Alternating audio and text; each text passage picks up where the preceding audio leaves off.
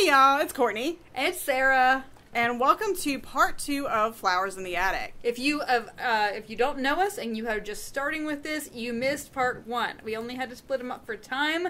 Go back and listen to part Stop one. Stop the tape and go back. if you want to, uh, if you don't care, I don't know, whatever. I don't care. But This part, we're going on a serious nostalgia train ride, but there's some a couple little warnings before we, you know, embark. because we had originally done content warnings for Flowers in the Attic, the first book in V.C. Andrews' Dollanganger series. Uh, more shit happens in the rest of the series, and we have an expert come and tell us about it. Yes, so in this episode, we have our expert, Sarah Garrett, uh, local to Columbia, South Carolina, lawyer by day, VC Andrews expert by Super night. fan. Yeah, super fan by night. So, we don't go into like a lot of detail about any of these particular events, but you need to know about them if you're somebody who is particularly sensitive to any of this stuff. So basically, the rule of thumb is if there's anything that might upset you that you might have need a trigger warning for, we'll catch you on the flip side. no. It's gonna happen in this series. You're not gonna Any- listen to this. Anything that you can think of that might be upsetting happens in the Dollanganger series. Somebody fucks a goat. Well, however, we don't really go into details on these things. We just kind of talk about them as plot points. So there's not a lot of time spent on them. The one Right. thing that we do, or that rather I spend time on, is I talk about the death of a child because this is something that I have experienced. So I talk about it in terms of grief. I don't give everyone the whole gory like details of things. Not that it was gory, but I don't lament for 20 minutes about the situation. I talk about it in terms of grief. So it is something that is mentioned. We definitely know that there are some people Yeah, who will who don't want to hear that, in and general, that's so fine. Again. I talk about it in kind of the lens of a personal experience. Um, again, everything else, the Dollanganger series is straight up bananas. So if you think you might have a problem with it, maybe skip this and go listen to. I can give you 99% invisible, right? yeah, or Firestarters podcast, mm-hmm. which is an awesome podcast Oh, yeah? breaking down every historical reference in Billy Joel's We Didn't Start the Fire. What? They're kind of amazing. So if you think you're going to Okay, be upset by us, or even if you're not going to be upset by us, You go listen to to Firestarters podcast. I'm gonna go listen to that now. I have not listened to that. It sounds awesome. super fun. Um, well, also gonna warn you if this sounds like it stopped abruptly, that's not your like uh, iPhone battery going down. That's because the SD card that powers our recorder gave the fuck up. We It- ran out of time. it gave it didn't up on beep or anything. So uh, yeah, it ends abruptly. But we were pretty much finally done. we out happened. a recording device. Yes. So buckle up. Get ready for a nostalgia train. We talk about all kinds of wild shit. Soap operas. We almost kill Sarah in this one too. Yeah, I needed oxygen just about. It was it was Yes, rough. It so- because I, I I unfortunately was not a guiding light disciple. We do talk about the guiding. If you're triggered me by the guiding light, then if you're, you know, a One Life to Live fan and hate the guiding light, then you can fuck off to the next thing. But enjoy.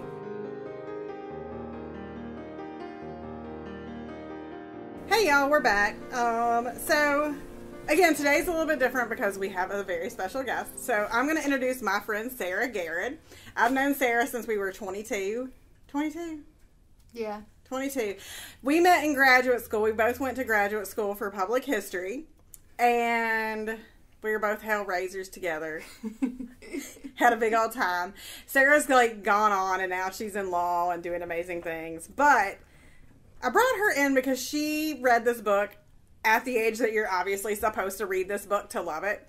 And we have this really nice kind of memory associated with Flowers in the Attic. So again, I've never read the book, but in 2001, Sarah and I were part of our graduate school program where we went and spent six weeks in England. And one afternoon, we were both hungover. I was probably a little more hungover than you were. I don't know. We were both hungover. And we sat in this English garden at the place, this Jacobean mansion that we were like staying at for two weeks to like do history stuff. Really, was just like, we're going to do a little bit of history stuff and party. Like, but we sat there in this amazing garden. The weather was perfect. And Sarah spent two hours recounting the entire Flowers in the Attic series to me. so like not just the Flowers in the Attic, but the other books. So she was like just telling me the story. So I feel like I like I feel like I've read it. So it was like one of my favorite memories. So I thought she'd be good to come on and talk a little bit about this. It's also period appropriate because if you are of the right age to be like really get our podcast, you were born like 79, 80, Yeah. and your name is statistically Sarah. So So now we've got two. There's there's we've accreted another Sarah. So yes, we haven't we have a new Sarah with us. So Sarah, can you give us a brief recap of the rest of the series? What happens to the Dollangangers? Sure. First, I just want to thank you both for having me on here. I'm such a big fan, and this is the ultimate treat for me to be here today. Oh, But yes, to recap what happens after Flowers in the Attic, you have Petals on the Wind, and basically the children, the surviving children, Kathy, Christopher, and Carrie, have escaped to the attic. They've escaped Foxworth Hall, and they're on a bus headed south to Florida, apparently to join the circus. Um, that's We're amazing. just gonna let that pass. no, okay. so on so the many questions. on okay. the bus, um, an African American lady named Henrietta, whose nickname is Henny, uh, finds them on the bus. Carrie is very sick, obviously from the arsenic poisoning, and she gets them off the bus and takes them to her employer, who's a 40 year old widower, Paul Sheffield, and he's a doctor. And so this is all in South Carolina, right? I And just want to point out And this is in- whenever we see South Carolina pop up in something. Yes, this is South up. Carolina. And I mean, correct me if I'm wrong, but Kathy's probably around 15 at this point. I, th- I want to say she was 16 at the 15, 16. Yeah, I well, he wrote was it down. I left he was notes at work. eighteen at the end of Flowers in the Attic, he, and I was- think yeah, he he was was like going to be separated from them, and that's so like why. fifteen. Yeah. Yeah. So, so Kathy's still a teenager, right? Oh, Yeah. yeah, yeah. Paul's sure. 40. Oh no. Oh no. Oh, Do you know what's oh, coming? Oh Yeah. no. So I know add, it's coming. so add to our themes of, well, I don't want to give too much. Add, add to your themes of, of rape and incest. Add statutory rape oh no. Um, and and suicide. At least they're not related. Oh, that's Yeah. a plus, right? Yes, that's the thing. It's you're like, okay, at least they're not related. But anyway, so there there's a lot of chemistry and inappropriate things going on at uh, between Paul and Kathy. Uh, basically, Christopher goes off to medical school. Kathy pursues her uh, dream and career in ballet, and Carrie is sent off to a boarding school where mean girls where mean girls torture her. and Poor torment Carrie, her. But at least she's out of the attic. Carrie, Yes. yes, Carrie, Nobody gives a shit about Carrie. Carrie, Carrie can't catch a break. Honestly, yeah, I was so glad, I, you know, that, that that it wasn't Carrie who got. I didn't yeah, I mean, but then Corey died, and I was like, I know. Corey's the good one. I like Corey a lot. Carrie's such a little. Never mind. okay. So Forward. so Carrie or so Kathy um, is just an amazing ballerina, right? And so she's in this ballet school, and the and the teacher of the ballet school, her son comes in from New York. His name's Julian, and he's so dashing and so arrogant and such a good dancer. And of course, he's obsessed with Kathy. And he had some sort of back injury um, when he was younger, and apparently she's the only ballerina that he can lift without having some serious. Well, she lost a lot of bone mass in the attic. Yes. She's so frail.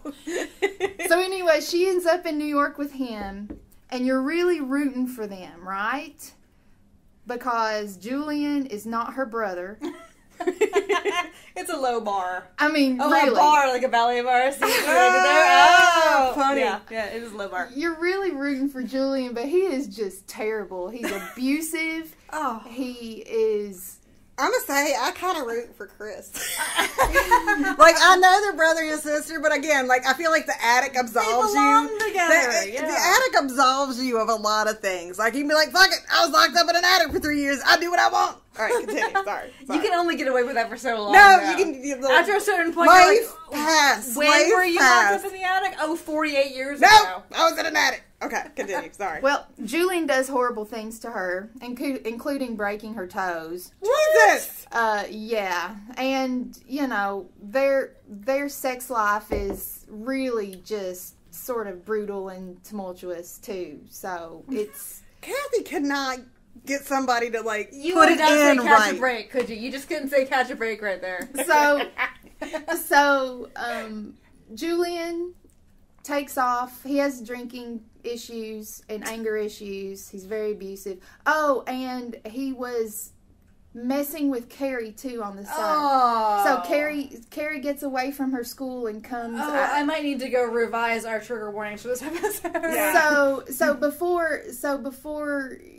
yeah he's he's got a thing for and Carrie's even younger than Kathy. Yeah. Okay, so Kathy and Julian Significantly. Kathy and Julian are about the same age. It's it's maybe he's a little bit older than her. I can't remember exactly. He's not Paul old. Um, so it- I'm assuming at this point, though, Carrie is like a teenager, at least. Yeah, she's not like a she's- child anymore. she's right? coming into puberty and she has never he Julian is the first male who has ever shown any interest in her because she I came into puberty when I was 11. Because isn't And she I all like big headed and small? Like she's Yeah. still big headed and small. Yeah, well, she's- so she might have been a little bit like um delayed, you know, Yeah, because her again, body was she's not big headed and yeah. small. Yeah, That's what we she's- call it. She might have been She- more like 18. I don't know. Yeah, she had some some issues where people just were horrible to her, and Julian wasn't, but he took advantage of her. Um, but uh, he dies in a car accident with another ballet dancer, but not before he impregnated Kathy, and they did get married. Um, so Kathy comes back to South Carolina and uh, eventually marries Paul, but. the the weird thing so many things about Paul he's written to be like this stand up guy like this white male savior to everybody Yeah, well, thank God he was fooling around with a 16 year old. yeah and so Yeah. he marries her but what we find out too is that his wife who had died didn't wasn't exactly dead when the kids showed up she was in the hospital In in, a attic? vegetative in a vegetative state Yeah. because Yeah. of her botched suicide attempt this is amazing. So add suicide to just the list of hor- horribly Yeah, we'll, like we'll go back and add a little errata to our um our trigger warnings on this episode. bad things. And so um, then as we're moving forward, Carrie, you think, oh, things might actually work out with her because she meets this minister who's very sweet. He loves her sweet singing voice. You think things. Yeah, he's still twice her age, I assume. and he's age appropriate and i think i think that they're um i think that she's gonna find love well she meanwhile she had been trying to communicate with the mother corinne and had been rejected and she's obviously has a lot of trauma and ptsd and whatever from everything that happened and losing her twin. Well carrie also commits suicide Jesus Christ. and she does it by eating an arsenic laced Oh. donut. Stop it. Oh. No. Okay, I love it. I don't want to say I love it for suicide, but I love that kind of like, like that spite donut. I love a spite suicide. I, I Oh, will yeah, I mean, a spite a suicide. literary spite suicide. And, like, you know. Do I'm not like, commit a spite suicide. Yeah, but, please don't eat arsenic laced donuts. but you imaginary people, please do. Yeah. So the best thing about this book is Carrie is just hell bent on revenge. She is hell bent and unstoppable. So she's like, I've had enough of this shit. Oh I'm glad somebody has. So she goes back up to Virginia to Foxworth Hall and she starts plotting. She first of all she finds Bart Winslow, her stepfather, Yes. and she hires him to settle some estate of Mm-hmm. affairs, whatever. It's BS. She basically seduces him and starts having sex with her stepfather, but they're not related, so you're kind of like, go, "Ah, at least they're not related. it's not so bad because you know it's not the bar has been lowered. lowered, right? and so she gets pregnant with Bart's child, and um, she hatches this plan where she is going to unveil herself and out her mother at the annual Foxworth Hall Christmas ball. So The- it's, wait, wait, it's like Reva Shayne. Yes! It's like Reva Shayne. Yes! And God and like, like basically getting in the fountain and being like, I'm the Horace Springfield. Yes! She- she's Kathy, Kathy Dollanganger. Did I pronounce that correctly? Ah, who knows? Whatever. She was like, she was married She's twice. by Reva. Shane. Yes, she definitely has some mm. Reva Shayne quality. Oh my God. For those who don't know, Reva Shayne is the ultimate soap opera heroine on Guiding Light. It was the best soap opera ever made. Mm. Continue. Absolutely.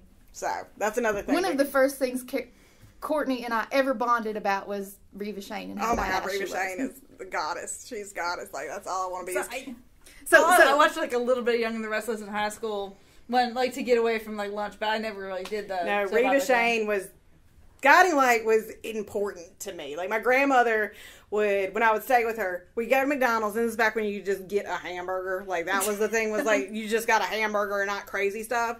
We'd get our little hamburgers and we'd come back and we would watch Guiding Light. And like Reva Shayne was always doing something with Joshua. Because I knew what Joshua. Joshua. Like- A lot of people were into Days of Our Lives, but I think Days of Our Lives was like cool before, yeah. like when Marlena got possessed by the devil. I remember when Marlena very- got possessed by the devil because my friend got me into um, Days of Our Lives. But see, Days of Our Lives came on at one, and kind of like came on at three, so, it was you, perfect. You were home Like, by school. You were yeah. you were getting off the school bus, and your mom was watching it. I Yeah. think there's definitely some like when we do this Dark Shadows book to, to be discussed about like uh Yeah. yeah because that, that's definitely the same experience Oh my people God. had with Dark Shadows back in the day. Anyway, I'm sorry. Okay, Oh, so she's okay, gonna yeah. like she's gonna Reva Shayne it. She's Yes, gonna she's read. going to do it, and she does. She plots it to a T because you know her and Christopher were hiding in the cupboard all those Yeah. Oh, we do ago. remember this, yes. at that at that unveiling party, her coming out party, Yeah. and she was like, "I'm back at Foxworth Hall," And I have totally not. and I don't have any my children. uncle. Yeah, and I didn't do that thing. yeah. And I certainly don't have any children. Yeah, Especially So- to have four of like, Kids. I mean, I get that you're gonna have like one incest baby, but like when you get to the fourth one, you think that maybe it's on purpose. well, remember, like, and yeah, like, but looking back on it, they were all stressed that the twins were gonna be weird, Yeah. and Which I didn't really like. It, I mean, it wasn't even like they wasn't even like a full uncle. yeah. Yeah, I mean, it wasn't. Yeah, seriously, we're not like which oh, Charles was it? Which? oh. I have some things to reveal. Oh, okay, okay. Sorry. Sorry. Go onward, onward and upward. But she had studied her mother so well that she copied the dress, the hairstyle, the makeup. Love it. She basically wanted to show up as a doppelganger, gothic horror theme, by the way. A Dollanganger. Ah, Yeah. I might actually have to read this shit. So she shows up. It, it was almost like VC Andrews had a checklist of all things gothic and was like, "Yep, check." Oh yeah, Got that check. like in Rebecca, where like she she wears the same like Halloween costume as, Re- but, but she was like tricked into that by Mrs. Dan. Okay, Mm-hmm. yeah. Man, we should read Rebecca. That'd be fun. That would be a good one. So, so she shows up and all hell breaks loose because she reveals everything. Well, Yes. and this is where it gets a little fuzzy for me because it's been a while since I've read Petals on the Wind. But Oh, this is all one book. yeah, the mom goes the mom goes crazy and loses it. It's the most important of the sequels to me. I mean, that's why I'm giving you that because this is where the revenge plot. This is where you Oh, really that, that's the cover of the book that I remember seeing around a lot. Like you know, I think maybe people lost interest after that one a lot. Yeah. yeah, and and there's good reason for that. Um, and so the mother like loses her mind, loses her shit, and goes crazy. And I can't remember if it's the mother Corinne who sets Foxworth Hall on fire, or if it's Kathy. I was waiting for that that house Some- to burn down. some- I'll tell you it had to somebody, burn, somebody like- can correct me on this. I'm sure some of the people who are listening know this, and they're just like, "Oh, that dumb bitch needs to know her shit better." But Don't come to a VC Andrews party unprepared. Oh, well, Well- just wait till we do this Dark Shadows book. Oh, We're going to get added. Yeah. This series horrified me so much, and I had so many bad dreams that I didn't want to go back and really reread all the books. Right. But I do remember that Foxworth Hall burned, burned, and um, the grandmother died. In the fire. Yes, the grandmother dies in the So- fire. Bart Winslow dies in the fire. So uh, I shit. Okay, now let me stop you right here because when they left in the end of the Flowers in the Attic, they left a note thinking like, oh, somebody's eventually gonna. Like, oh, this is a joke. Somebody's eventually gonna see, you know, that we were here for four years. Oh Did yeah, that Kathy writes happen? like the chalk thing. Kathy writes that chalk. Did and then- anybody ever find it? Did it ever come out publicly? That's my. I don't think so. That's my. Fa- and that was my favorite line of the book. We lived in the attic. Christopher, Corey, Carrie, and me. Now there are only three. See, I remember that VC Andrews people. All right. So, um, I I want to say in that like climax of the burning of Foxworth Hall, Carrie or the mother one goes into the attic and there's some reference to those flowers. There's some reference to that. I don't know. Okay. I don't know if Kathy went up there for inspiration before she did her thing, but I do remember at some point the attic is revisited. She would have had to. She had to go back in that attic. Like, There's get no way pumped she up, like, get psyched yeah. up. get Yeah. pumped up because Yeah. she definitely like thrived. Because I guess it doesn't really matter in this book if the public found out because the public isn't. Ma- I mean, the only people that matter are these intensely inverted. It's like an ingrown tonail. Are these It's- people? yeah. like, you very know? true, very Yeah. true, and you wonder who these people are coming to this party. you know, They're like the minister and his wife, and like the people who live down the road, and like they Oh come my every year. This would be the greatest party. Like this, because I could just imagine. I'd be like, oh, the whole time I'd make And, that like- noise by excited, like, oh, oh. Like, what if you were in the bathroom and you missed it? Like, Oh, you'd be, be people so- would tell you the whole rest of the year, like, oh yeah, she is the one who missed. because yeah, my mother has this enormous Christmas party every year, and Yeah. it used to be a dinner party, as in like I would help cook, and we would feed a sit-down dinner to forty people. We'd invite 30, 40 would come. Uh, uh, 60, 40 would come. Just 40 people no matter what. We'd have like just tables laid out and on. She had it as she they moved into a um a, you know an old folks home now so she got rid of some of the china she had enough china to feed 40 people on her christmas fucking china okay Jesus. yes So the next time So she has this party, can like, in, like- can we do this? Can like we reenact petals in the wind at your mom's and she fancy would be like- party? sarah jean sometimes I, what would she say? You're strange. What she would say. And I know she doesn't listen because I haven't put it on her. no, I've like forbade my father to listen to it. Like, he's But if we're gonna do it, we'll do it at my mom's Yeah. party because it's now a drop in. Yeah. So it's a little less. You can wear jeans now. Like before, it said, um, "Oh, festive." Festive attire or something, Yeah. which you were supposed to just know meant no jeans, and I don't know how you were. You got a personalized invitation. It was mm, it was a thing, but yeah. So now it's a drop in, so it'd be a little less um, exciting if you were to show up in, and you would be showing up in some '80s like holiday sweater. If you no, like- no, I'm showing up in a full like Reva Shayne dress with like with like a like a fur. You're gonna faux jump in that fountain. I'm gonna jump in that fountain. Wash! What was it? She yelled at Joshua. I hereby baptize myself the slut of Springfield. And Joshua was in the wheelchair and just watching her all nonplussed. Oh my god. There is a fountain out of the front of Still Hope. See, I'm, just I'm- saying I'm ready. do this. I'm There's ready a to, pond in the like, back Reva too. Shane it I mean, it's got turtles in it. Reva Shayne, turtles aren't stopping her. Okay, all right. so they die. So, so the so the grandmother and Bart Winslow die, and I think Christopher shows up because he's he's against. Ca- He's like Kathy, you just need to let this go. They our mother is. Oh, he's always been too willing to Hey, forgive. goody goody goody. I'm not. A, Fuck him. I'm not the biggest fan of Christopher. I mean, He's the least abusive person, evidently, this woman has ever had sex with. I and he's still a rapist. this is the thing. How, why does he get to be the doctor? He's the least critical of them all. Kathy is the first to figure out all the shit. Yeah, it's mm-hmm. true. I mean, Well, I think that that's VC Andrews maybe saying, like, oh, dudes, seriously? Yeah. Like, yeah, I mean, like, you know, you gotta ask a woman if you want to find out if your mother has decided to kill one of you. Or all of you, quite he was hot though. yeah. Now, you know how I feel about a blonde man? I know how you feel about a blonde man, but I I'm just enjoy a blonde there man. for that. I enjoy a blonde man. Yeah. And he was like, he just sounded golden. Unless he's a golden he sounded like which young, like a young Nick Nolte or like a young John Boy. Which And look what happened to them. I said young. I'm not. He's obviously not on drugs. Like yet. or it ain't, it ain't affecting him yet. He's So- not arsenic. He's like, Yeah. I mean, there was blood drinking in the attic. that is Yeah. true. Yeah. Didn't he like put a belt around his arm? yes, yes, cut he's it- feeding him blood. Like come on. He's feeding them babies, though. I mean, that is very maternal. It is. He's very. Um. um again, my dog. Like, I don't know if you breastfed because Yeah. it is kind of like that. I did. I did a mix of, of, of both. and- yeah, because I had to do pumping, and but I can try. You know, yeah. Seriously, you are giving a certain amount of blood. you know, I like him. The dog is snoring. It's not the children in the attic of my house. There's two dogs snoring actually. Yeah.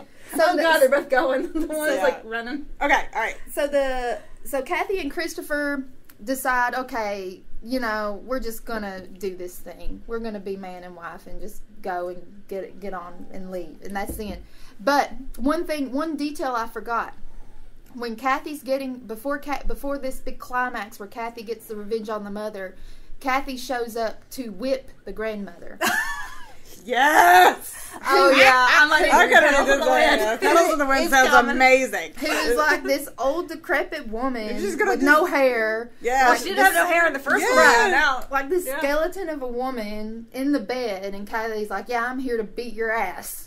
This is the greatest thing. No, So- granted, okay, so uh, what was your feeling on this? Because when we read Flowers in the Attic, yes, the grandmother is obviously supposed to be like the immediate villain, but it was really the mother who was the bad guy. I mean, like, the grandmother is what the grandmother is, right? Grandmother Like, was a pervert, wasn't she? Straight up pervert. I mean, she was terrible, but she was a I no- know what you're doing. She was like, like, and that's the thing. Like, I think she wanted him to. Like, she Yeah, was like, she could get him. I'm gonna put you in this like him. this hot house situation. You had And the kids are like, doing rooms. what? They're like, what? And it's like, Like, they oh. really don't even understand, like, Yeah. what it is. Like, she kind of for forces them into, yeah. Thanks for explaining to us what incest is, mother and grandmother. Yeah. Thanks for locking us up and seeing what happens. But really, I feel like the true villain in the, in the first book was the mother. Is that she is the one who like fed them to a monster, and the monster is just like a thing that exists. Like you know, the grandmother Yeah. is just. So I mean, I get them being angry at the grandmother, but really, it's the mother who is Yeah. the problem here. But I you mean, know. I guess like Kathy's again. Kathy tag. The thing I like about Kathy is Kathy always tags you back.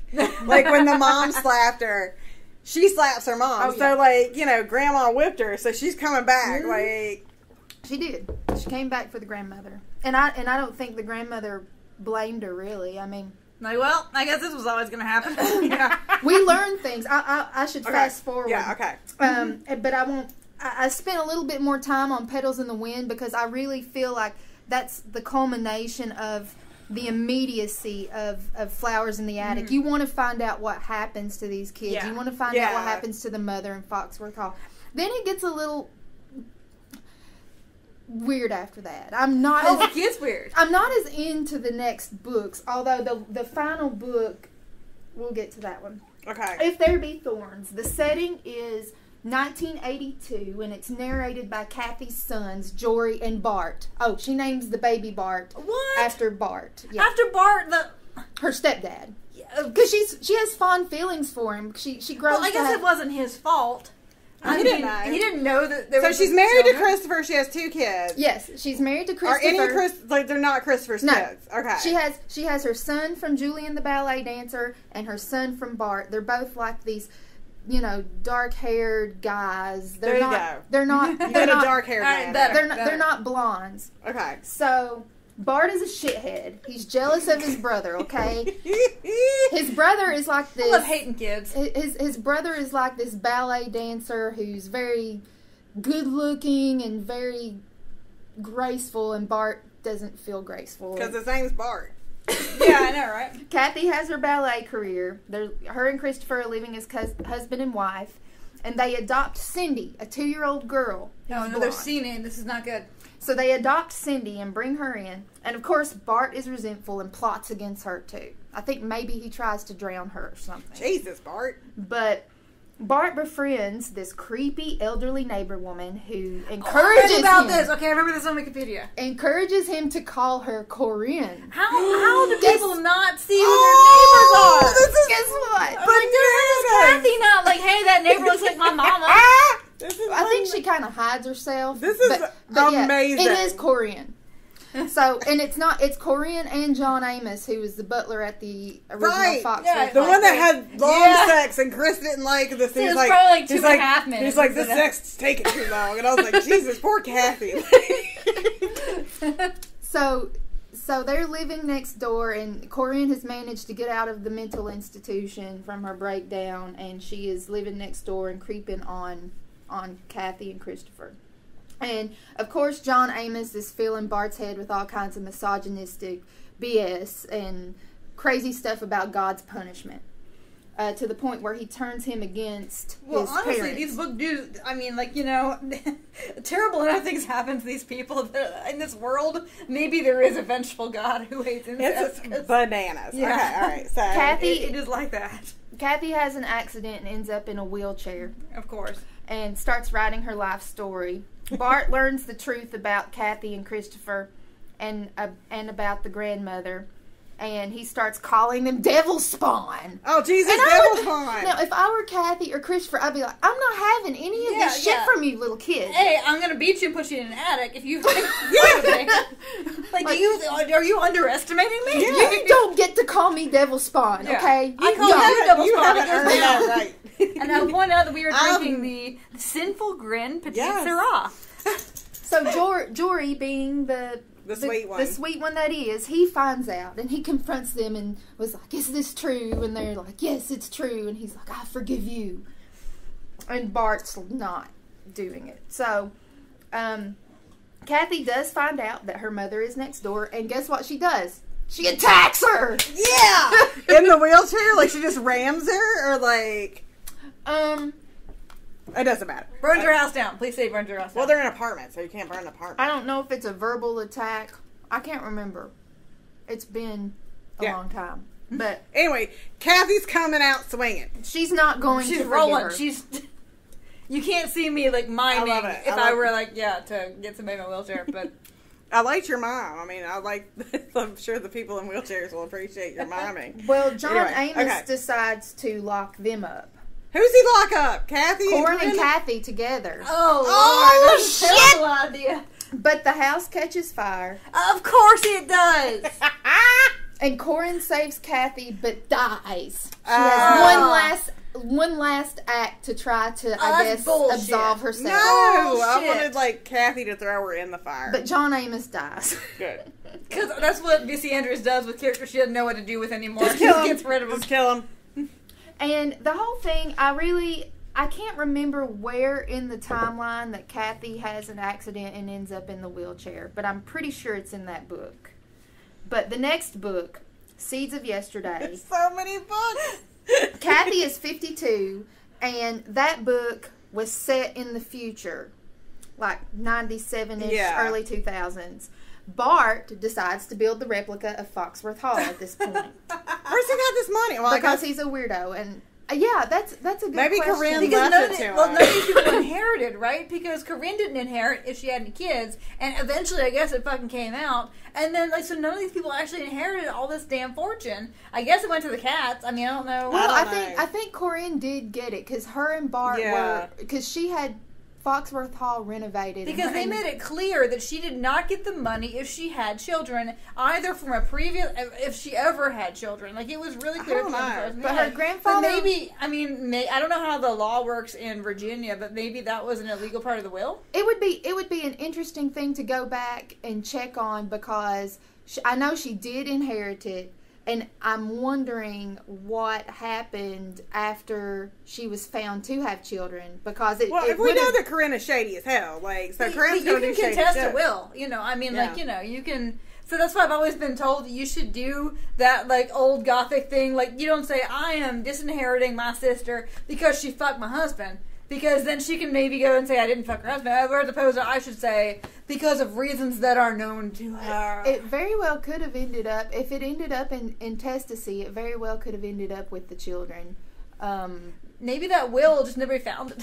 because you know. it, I love that we're good- making this like a law and order yeah. thing. Like, Th- this is a good question that I didn't even think about those details when I was going back and reviewing it because I was just like reliving the horror of it, kind of. But yes, that's that's Okay, so he's building true. a replica with.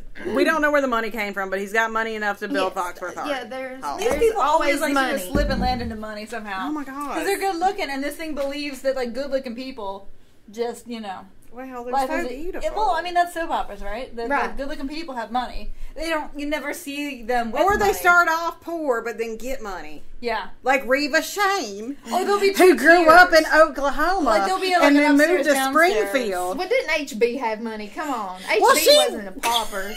she Was he? was. I feel like she wasn't first part That of was her daddy, right? Well, HB was her daddy, but I feel like at first he wasn't a lot of money, and then he got into oil. I think didn't he get into oil? They'll, They Yeah. all get money somehow. But I'm gonna. you bring- never really see them I'm get gonna the money. find though. a way to bring up Reva Shayne as much the as I money can. is always this vague, like the money just money. happens. Like wills are real, like because you'll see a will being read out, like it's not actually read out in real life in every goddamn soap opera. Because we're all sitting there and we all hear the will at the same time, and then we get in a fight. yeah, because Right. Reva Shayne gets cut out of the will, but she's she's gonna fight But it. that doesn't happen. You don't actually get people in a room and read the will. I mean, that's not a thing that is in real life. But well, it's I very mean, dramatic. Anyway, okay. Anyway, we're we're okay. So Foxworth Bart, Hall. Bart builds the Foxworth Hall, and then Uncle Joe comes back, and he Like, is does he furnish it? Like, Who the fuck is Uncle the attic? Like, the actual attic stuff? Like, is it like a dollhouse or what? no, it's a real. Who's Uncle No, Joe? but I mean, like, do they, like, put, like, trunks? And I mean, is it, like, a new house or is it, like. I'm not sure. I have questions. I'm not sure if he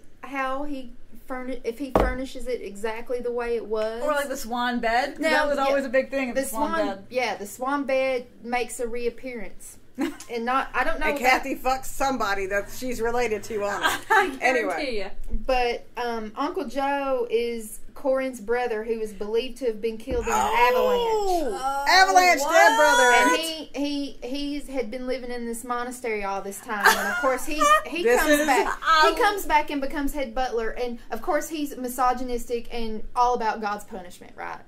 Why? Because any man who grows up in this terrible, like nasty ass hothouse ends up fucked up. Whereas the women, they can go whatever kind of way.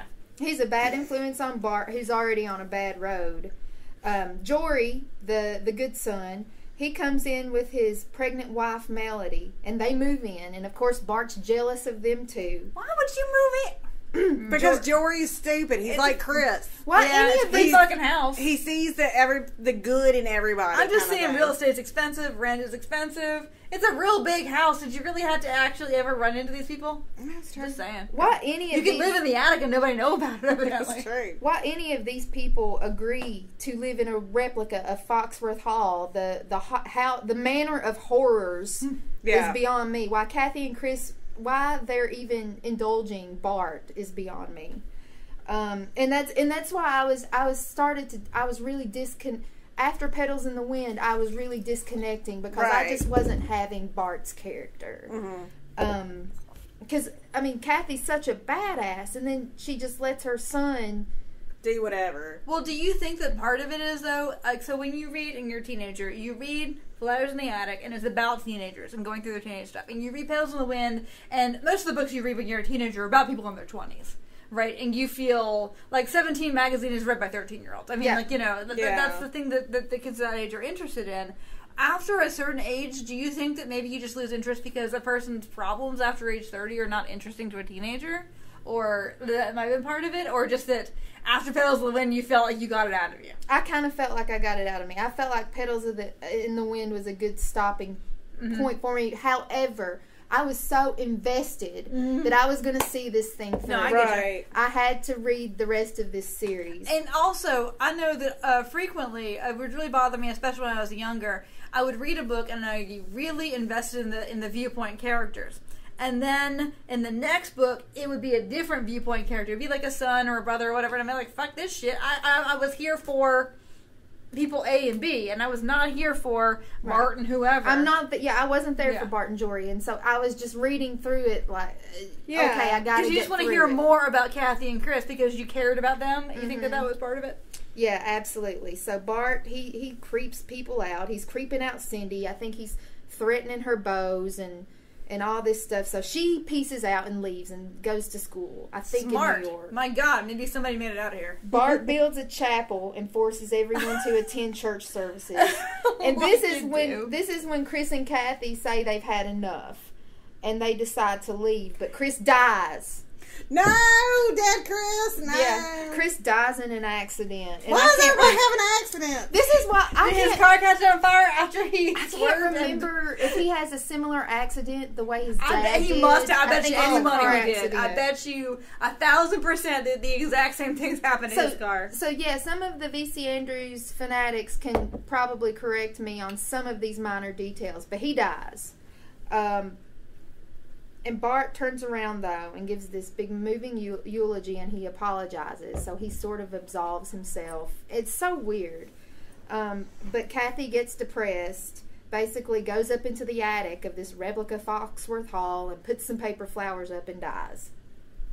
That's how Kathy dies What? and it's like I guess she's killed all the people she can kill. And yeah, After a while, you kind of feel like, oh Oh, well. that's sad. And I it- want her to like. I mean, Give a live, live a good life, like uh, get over it and move forward and get some, well, she that's her blonde like, piece of ass. get so I guess, over it like- and move forward. and I'm wondering. I think she. I think she's actually in the wheelchair. Has the accident before this book, Oh, I but she maybe, was in a but maybe, but maybe. How'd she get up to the fucking may- attic? But maybe it's this book. Yeah, I, I, I have some questions. I Because really. it's a very narrow stairway. I- I- Assuming it is an exact replica, which how Maybe easy they put an be? elevator in. Well, to the attic. But here's the thing: if she lives in that house, then yeah, he's gonna put an elevator in. Oh, well, places. yeah, yeah, true. so- But up to the attic, I am just saying that, like, uh, oh, I want, oh, we haven't finished the uh, elevator to the attic. Oh, what about now? Oh, yeah, there's a problem with materials. what about now? Oh, yeah, the workman didn't show up. Like, uh, maybe it's not a great idea for you to go Oh, back up to the Jess. attic. so, so. I'm fuzzy on that detail and would like. That's that's a question that. But I have, feel like if she how did lives in that house that? too, then he's probably put in like yeah, But she- ADA accessible. So it's sort of alluded to that she dies of a broken heart because Christopher's gone. Um, He's her love, her brother love. She's out of people to murder. So Like, exactly. you can only murder so many people, and then, like, your heart is broken because you want to do some more murdering, and then it's just, you know. Well, I mean, she only really murdered like she only arsoned Bart Senior and hmm. the grandma. So it's like. well, that's not really very satisfying, is it? no, I mean, I'm just saying she didn't murder hard. It's not like she murdered a lot of but people. she- And I'm still that's not why she died. We don't know who I'm started not, the fire. I'm not It might have still. been- I'm still not clear if it was her or her mother who started. I started. mean, the Corinne fire. ten to one started that fucking fire. Well, Um, I Anyway, don't know. It all right, is there another gappy. book or is it? Yeah, there's another book. Well, I don't Oh want my another. God! Why is there another book when the two characters that like you care about? We're about? done now. Because it's Oh. a it's a prequel. oh shit! so yeah, because I was at this point, I was like, okay, Kathy and Christopher are dead. I can't take any more of this Bart shit. Did I you will- learn anything about the future in this? Because it was the future, right? Yeah. Oh yeah. Yeah. Did you learn? yes, Sarah. You know, like, like where they're flying. Like, Dark Shadows does this too, which I think is hilarious. Like- Like, uh, like they went to also like 1997, which is a lot farther for them. You thought it was like a Blade Runner situation where like we thought that twenty whatever nineteen what what oh, God all the Blade Runner people are gonna at me and you know what come at me because I think Blade Runner's boring. Hey, man. Oh, I said it. You can't Oh. be you can't be oh. an expert in everything. there is gonna be a rift. There's It's gonna fine. be a. It's fine, but like what what what year was Blade Runner? It was Oh. like 2018 or 2017, right? Or Oh 2019. my god. But like the future looks amazing. don't at me. No, it doesn't. It looks like a crap sack future. Well, I mean, it was like all sex Income robots and stuff. inequality is like. Why would you think I would like Blade Runner? You know how I feel about robots. But there's And no there's a space. shit. There's I a shit ton of robots. But didn't you watch? You watched Small Wonder, didn't you? Oh my With god. Vicky, Yeah, I watched Small Wonder, and like, fuck that. Like, when she's all like, wasn't that creepy? oh, what was the other one? The electric grandma or something. The, Oh, Oh, the, oh, the Ray Bradbury and thing. she like she rocked really fast to like Oh. charge herself. Somebody you know what was I'm trying to talking like I loaned that at the library, and we can't get it because like it's just like it's not on print. You can't get it. Yeah, like it was like the electric grandma or I something. was thinking of the That's a Twilight Zone thing. episode where they bring the grandma in. it's probably might like be based on based that. on yeah. That's a Ray Bradbury story, the Electric Grandma. yeah. But see, like I had in second grade, you know those horrible Halloween costumes, the ones Yeah. with the masks and all. Oh. I, I was Those busy are so from Small creepy. Wonder. Yeah, and you know how your mouth feels against that slit. Oh god, the slits. Yeah. I think we were both like we were always care like I was always a Care Bear, so I know you were always a Care Bear or like Strawberry Shortcake. Those were mine. No, My Well- Little Ponies, because I was that one year too. As soon as I could get my hands on on on Halloween makeup, I was done with all that plastic shit. I was painting my face up all crazy. The hilarious thing is that my mother made me loving handmade costumes for years, and then I said no. I want no, those cheap I plastic wanted some store bought yeah. bullshit. oh my god. she sewed them with love, love in every seam, and I was like, "Fuck you!" So this is actually going to happen next year because I have made Halloween costumes for my son all this time. Vicky he was Frodo. Yeah. he was adorable. He was Bam Bam. He was so cute. This last year he was no, he's gonna want to be. He's gonna want to be Batman with no like the. PJ Masks, dude. It's going to be PJ Masks. Oh my god. Okay. All right, So, so, I'm sorry. prequel, prequel. So, so yes, because we couldn't take any more of the Bart shit, right? Yeah, He fuck to- Bart. Oh yeah. Oh, did he live through all that? I, I, I didn't mm-hmm. follow his thread. Did he? Mm-hmm. Is he safe and sound think- and happy I and think shit? I think he does live. I Oh, think fuck I him. think he he realizes he what had a to come dick up like he did the epiphany eulogy where he's mm-hmm. like forgave and no, like, he don't. He don't. Mm. But Garden of Shadows and some some information that people need to know. VC Andrews died of breast Yeah. cancer in 1986. But she's like the Tupac of authors. yeah. Right. Her estate hired a ghostwriter, a man. Yeah. And this is the man And the who thing is, you can tell through all this that a woman is writing Yeah. this. I mean, this is a very female Yeah. fevered fantasy. and so you know.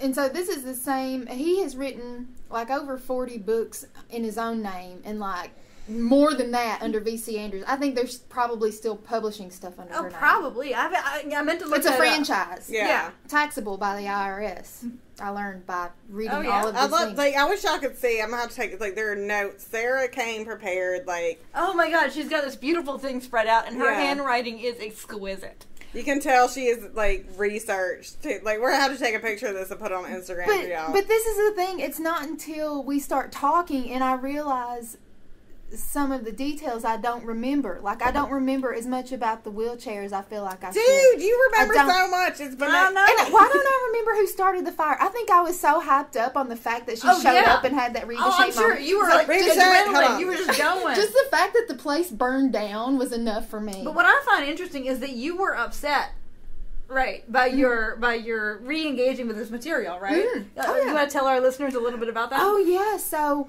when I was invited to come back and I started thinking about the books again and really, you know, getting my thoughts together um, for this podcast, I started having nightmares, and I've had a couple of nights of nightmares, uh, specifically about flowers in the attic, because uh, out of all the books in this series, that book is is the best, and it is the, in my opinion, the most gothic horror of the genre. The rest of them are just continuing the story, um, and it's just some of the imagery. It, despite whether or not you think the writing is that good or not, the imagery and her V.C. Andrews' ability to develop a character was good. I think. I And- agree, yeah. and I think that it was enough to hook you, and just the the the thought when you're coming of age, when you're about the same age as Kathy, to read about children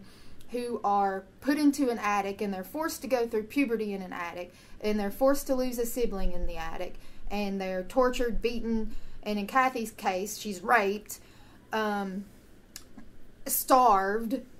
I mean, you you may be reading it with a straight face because I was also reading Stephen King at that time. Yeah, and we- that's, it's funny that you weren't even here when we were yeah, we talking were talking about, this. like for us, like for me, Yeah. one of the things I brought up about this, and like it's a thing that obviously now as an adult, like ew, it's gross, but like you remember, okay, like Stephen King's It was like a big thing because again, it's kids our age, so like the Bev scene, you thought you were grown. like the Yeah. like the Beverly scene that we now know is awful and all this stuff, like. As a kid, like, and here's the thing, like, I'm I don't condemn Stephen King for putting that in there because, No. like, well, he's never known how to end a book for one thing. but also like know? that sex scene, like where she like basically has It sex with vital. everyone. Like It it, was, was- like super titillating and like as a twelve year old, I was like, well, fuck. Now Bev's an adult because she's doing this like very like It was thing. it was legitimately vital. It was Yeah, like getting like- the the nasty blood of it. I so guess. like I you feel know? like people who are like ah Stephen King for didn't read it writing back in the it, like for being twelve years old. That was one of the scenes that, like, I still remember that entire, like, I remember that Yes. passage, like, how her, like, and- yeah, how yeah. sex with Bill was versus sex with Ben, and, like, the fat guy, like actually, yeah, I, and Yeah, I don't even like- like get into it because, but yeah, yeah, like it was really important to me. Yeah, yeah, And so. I feel like it's easy, like as an adult in our thirties, like you know, like to be like, Oh, really? To We're look in our back with horror, like what the Yeah. hell was I reading? What I'm kind But- of sorry. but at the same- one of us is no longer in our thirties. Oh yeah. what did I did I just say No, not quite. Not not yet. Actually, I'm technically not 40 yet. Yeah, I so- won't be 40 in, until the next weekend. Oh, is it okay? All right, So, so, we're still in our like- thirties. Yeah, we're, like, we're so- just we're celebrating early. But like you know, like we look at it, and we talk about the horror of it. Mm-hmm. But like as a twelve year old reading it, like that shit was important. It's the excitement of it, and, and the, so like I can't condemn trying it to because tap into It- this. it got people something. into the book who would have never otherwise have read it, Yeah. and the soap opera element of it got people into the horror element who would Yeah. have never picked up a horror book. But your Yeah. life, when you are that age, is like that. It is so intense. Yeah. Like everything is either the worst thing or the best thing that has ever happened to you. And Yeah. your mother won't let you go to this movie, and it is like, oh, she's trapping me in it. Right. At it. I Yeah. mean, like, you know, Teenagers like are that. trapped, right? It's, it, oh, I can't be on the phone past midnight. I'm so trapped. Exactly. Yeah. It is Yeah. like that kind of intensification of life is what it's actually like to be Yeah. a teenager, and we cannot tap into that anymore. Yeah. So that's what I think is so great about having like you want like because again you read this and like you read this when it was And we I are literally older than anybody who responded to our survey had read it. We Yeah. are at least Like five years older nobody than them. read it like over the age of 35. Like there was Oh. one person that read it in their 30s. And then like a few people who read it in their 20s, That everybody else was under the age of 18. Yeah. And I think that's really important. And Yes. most people like put like they were between 13 or like between 11 to 15 in like mm-hmm. their age range of reading Like honestly, and not even late high school. yeah, so that's what I'm saying. Like you see Right. people in middle school and then like your freshman year of high school Yeah. walking around with this book. Right. Mm-hmm. So okay. Oh. So bre- yeah, the Oh no, the the- prequel. The prequel. So this reads like a twisted genealogy of incest. Okay, you see where it all comes from. It's been in the family for a while. Well, Okay. you know, you should keep it in the family. But Ah, I see so what you did so there. so the reason I brought up the whole thing with VC Andrews and the ghostwriter is that it's not clear how much of this book VC Andrews actually wrote. Oh, okay. So- yeah, because Okay. she didn't write it. Her her ghostwriter might have actually written. Um, I think Andrew Neiderman. I think he may have written What some. a, a like then you got a VC Andrews to Andrew Neiderman. and they had Yeah. the same like a- literary agent. That's how. So Yeah. VC Andrews was really sick, and they shared the same literary agent. And uh, the literary agent, I think, approached Neiderman and and asked him if he might be interested in that sort of thing. But the ghostwriter enter, enters the picture and writes at least some or possibly all of this book. It's not sure. We're not sure. But Right. this is the story of the grandmother. Mhm. oh Lord. Which is what I want to know, right? And, Yeah, and so it's but- set from about like 1918 ish to 1957. But often you don't want to know really. You think you want to know like Hannibal. Like you think you want to know Hannibal, then Yeah. you don't. You just like a little like a little salt of Hannibal. You don't want a whole roast of Hannibal. so she's she's As it were. she's a sober and an intelligent woman, right? And Mm-hmm. Malcolm, who has all this money, likes that about her. He likes he sees her as somebody who can run his estate, right? right. So he, I think she's maybe in Connecticut or something. He brings her to Virginia, and he pretty much immediately starts to flirt with other women because he turns out to be a big horn dog, and ignores her. He becomes a jerk. Because the grandfather is barely a character in the book. Yeah. Like he's just like things you hear things about. I wasn't sure he was actually existed until Yeah. So we on. learn we learn a lot about Malcolm Foxworth, and he is an asshole. Oh, He I'm um, he had been he, he had been abandoned by his mother, and her name was Corinne. Oh Ooh, God. dun, dun, dun. So you got this uh, theme of mother abandonment again, and we're in, we we learn that Oh, this let's point out something that I did not know realize until you told me downstairs that Flowers in the Attic is dedicated to.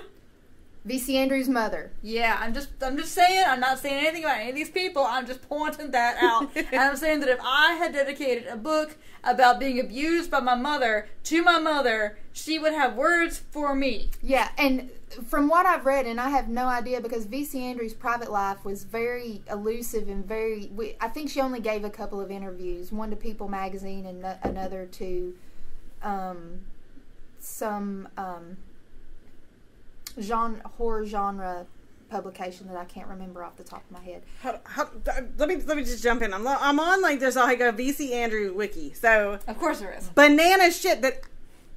Okay, so Corinne's the one who starts the fire, but you know how they told everybody that they took Corey to the hospital? Oh yeah, they oh, didn't. Oh, He's- I figure they didn't. No, but he's still in the house. What? They don't. Let, he doesn't leave the house. They keep him in the house, and the house is so big that nobody smells him Oh. decomposing. oh my god. So okay. I had forgotten that detail. sorry. Sorry. I did not believe that. That's they an took him. important detail. That's Because the thing bad, is, right? if, That's it's, if you bring you- in a child who suddenly dies of pneumonia, they mm. autopsy him. Yeah, like, no, that's, that's, no, that's actual like- real life. I mean, you know. Yeah, but now they they they lie and say they took him to the hospital. I, mean, Oh, I, mean, I, I didn't think- believe that for a minute. Well, I knew they didn't take him to the hospital, but like I thought they would like fucking just bury him outside. So in other words, if there's parts of the hospital of this house where you would not smell, then these kids could have been roaming, and they could have had another room for the boys. Yeah. All right.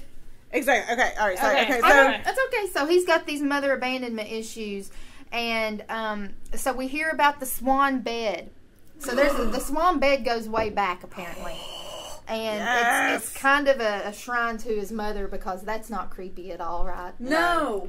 Um, so the grandmother Olivia and Malcolm, their consummation of their marriage is more like an attack. It's not some gratuitous sex. like all sexes in this book, like when like it's like very like Victor, brutal. VC Andrews, you can tell us. All right, you can you can you can you can say it to like us, and all we the won't sex tell was anybody. attacked. Like And- when Chris and when Chris and Kathy have sex. Mm-hmm. Again, she says it's not rape that she wants it, but it like the way it's written and described is like well, an the attack. fact that she has to say that it's an Yeah, attack. like- So we never know what consent looks like in any Yes, of these books. No, and that's uh, really upsetting to me that these girls were reading these books. Right. But it goes to, uh, anyway. It, we'll, Yeah, we'll, we'll get so into that's this. like kind of our thesis as a podcast. Yeah, so that is during, our thesis. So, so during this sexual encounter, he's saying his mother's name. Oh. So Malcolm's totally messed up, y'all. Um, so Olivia has a couple of children, they're boys, but Malcolm wants a daughter, so he uh, can fuck her. Yeah, probably. and um, Malcolm's dad comes back to Foxworth Hall, but with a young bride. She's like not Oh. even twenty. She's like nineteen. Oh well, that's actually old for this book. I mean, Right. for this thing. her name's Alicia, and she gives birth to Christopher Senior. Right. So here we learn about Christopher Senior. Christopher Senior is the the child of of um, Malcolm Malcolm's Malcolm Foxworth's dad Mhm. and Alicia. So he's just this great boy. Everybody loves him. He's this beautiful blonde boy He's that golden. He's lights the golden. light of They, all Foxworth love, Hall. they love that word golden. don't And they? even Olivia loves him because at this point Olivia hasn't turned into a total cruel evil person yet Right. and she loves Christopher Senior. And Malcolm sees this young hot Alicia, and of course he wants to seduce her. And he tries and tries and tries, and she doesn't fall for it. So guess what he does? Rapes her? He rapes her Oh God. because that happens throughout this series. And um, yeah. So guess what happens? Alicia gets pregnant.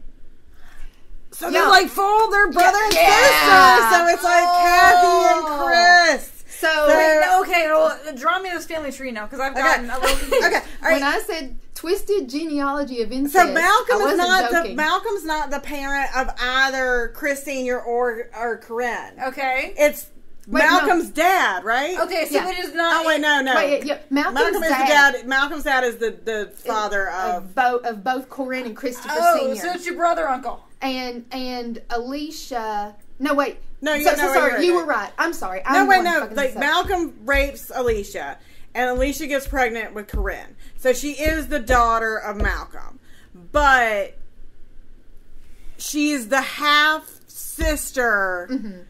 of Christopher Senior. Right. In They share a addition to him being her half uncle. So in other words, it's not as distant as we thought it was. I was Right. willing to It's easily more of a. Kathy Christopher situation. However, it does not still matter because they did not grow up together. I say that the, what makes incest is growing up with somebody.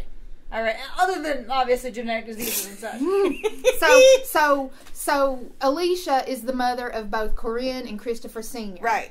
So and then you have Malcolm and his dad, who were the respective. Well, dads. I was really surprised Right. in Flowers in the Attic that like, even on the train, Corinne tells um, Chris and Kathy, "Oh, our name, uh, our names used to be this, but our names are now this," and like she has not like a kind of like. I get that she lives in a time in a place where you always took your husband's name, but there's usually two involved, Yeah, no. and, and she just completely does not even notice that going by. Mm-mm. You know, and I get that she's like under trauma, but I noticed it going by. Mm-hmm. But then again, I was primed for incest. Yeah. Okay. So the grandmother when when she finds out that Alicia is pregnant, she's really mad. Okay, Well, this is I when mean- the grandmother cracks. Obviously, so. But, Um, but not necessarily at the girl. But that is Well- what happens. she does because you've got again God's punishments coming in here to like yeah. burn everybody to he- in the hellfires of damnation, right? So the grandmother becomes very resent- resentful of pretty women because she thinks they're tempting the men, Right. and she hates the men too. So the grandmother is a com- is probably one of the more complicated characters. Because she was abused, right? Because like that's Mm-hmm. why she won't go in the attic in the first book. Is that like because she was like stuck in a closet? Yeah, I can't remember her the I can't remember the source of her, um, She was dreadfully Issue. claustrophobic. but she Like, had an issue. She would not go through the closet you had to go to to get to the attic. And the weird thing is, and this makes no sense to this kind of house, is that that was the only way up to the attic. right. Yeah, that, makes does no not sense. make any sense. And so, because it's just an unassuming little room off the off the yeah, wing. yeah. And, and the, this is like the kind of house that's been added onto and added Yeah. onto and added onto. And this is the kind of house where you have stuff in the attic that is like giant furniture. Right. Yeah. And, and so what? So they have to hatch a plan to hide because this is scandal, right? Mhm. So they have to hatch a plan to hide Alicia away while that's uh, done all she's the time. pregnant. That is done all the time. So guess what? They guess where Alicia hangs out. The attic. Of course. But they had homes for those girls. But I guess like our kind Well, of people didn't send them there. She's married. But yeah, she she hides Alicia during her pregnancy. Um, but it's it, but it's a thing where I think Alicia agrees to it. I, I can't remember. I don't think she's being like held against her will in the sense. Well, that was very common. You know, I think she agreed. they would send you to. I mean, sometimes you get sent to the Magdalene laundries and fuck you, but sometimes you would get sent to a place and it was a good thing for you Yeah. because it would save you. and and it's you know, interesting your that name, you know your- you have these women in this situation, and instead of just they're just saving the men's ass. It's a Oh, yeah. scandal. Let's Yeah. let's Yeah. let's clean this up. The up. men never get hung. Let's no, clean they this never up get for the them. laundry. Let's Yeah. clean this up for them and war against each other. Yeah. You know, and so so anyway, uh, after Alicia has the baby, it's given and presented as if it's Olivia's. Olivia feigns this pregnancy, and um, Which has got to be ridiculous, by the way. Like, oh my goodness, that smells terrible. yeah. You know? so when Alicia, after Alicia has the baby, has Corinne, she moves away and takes Chris Senior with her. Right. Eventually, Alicia becomes ill. I think she has cancer, and she contacts them um, and begs them to take in Christopher Senior. Okay. So this is how we get Christopher Senior back, Back at in the house, Right, Hall.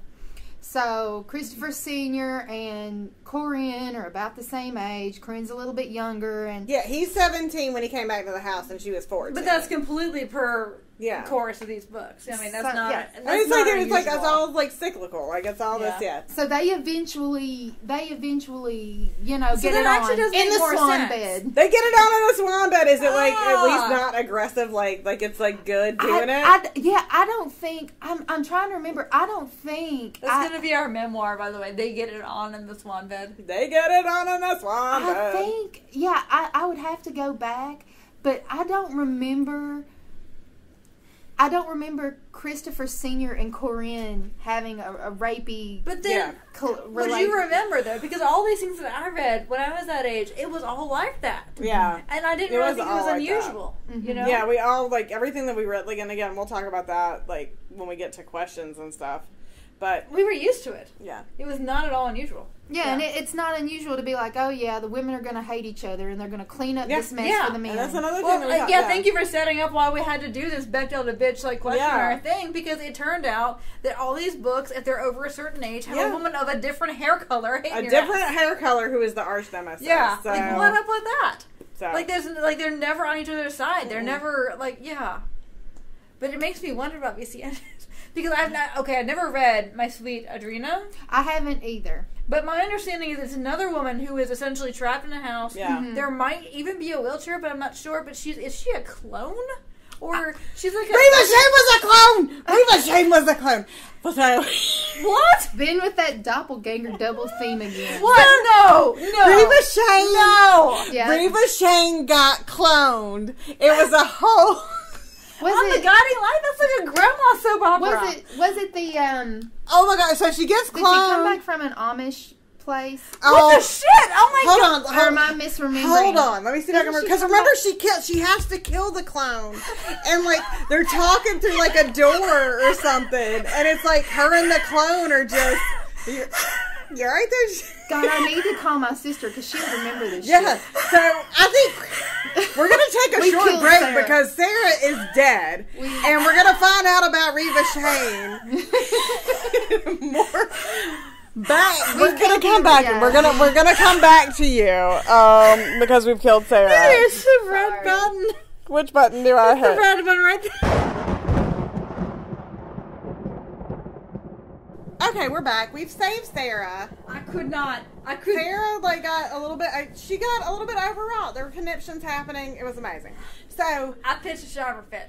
during our break, used our, you know, considerable resources to research You mean smartphones? Yeah, the internet. the guiding light, and now I'm remembering things. So, real quick and dirty, this has nothing to do with flowers in the attic, but it has But I- I everything think to do that with. You will care. Yeah. I'll make a connection at the end. yeah, you wait will. Yeah, you will. So, okay, so Reva Shayne, our hero, other Sarah and I's Yes. hero, like she drives off the Seven Mile Bridge Yep. because of reasons, just just reasons, soap opera reasons. And I can see a picture in my Oh mind. my god, it's amazing because she's She's like she looks like. Toonces, the driving cat. Like she's just like ah, and she drives off the bridge, and jo- Joshua, Joshua, Joshua. is overwrought. so he goes to a mad scientist and is like, "Hey, I need you to make me a clone of my bitch." And he's like, "Fine, we'll do it. We're naming her Dolly. Dolly." ah, the nineties were amazing. And I want you to remember that this is not. This is not one of those. This is not passions. This is not. these are our lives. This is the Guiding Light, which was our radio fucking show, y'all. Mm-hmm. The Guiding Light was amazing, and I hate everyone for not watching it and making it get canceled. Yeah. Like, I'm still pissed off at all of you motherfuckers because The Guiding Light was the shit. So, okay, so Joshua has a clone of Reva made, and he keeps her in a cage for a little while because You need to be careful with me. I am fragile.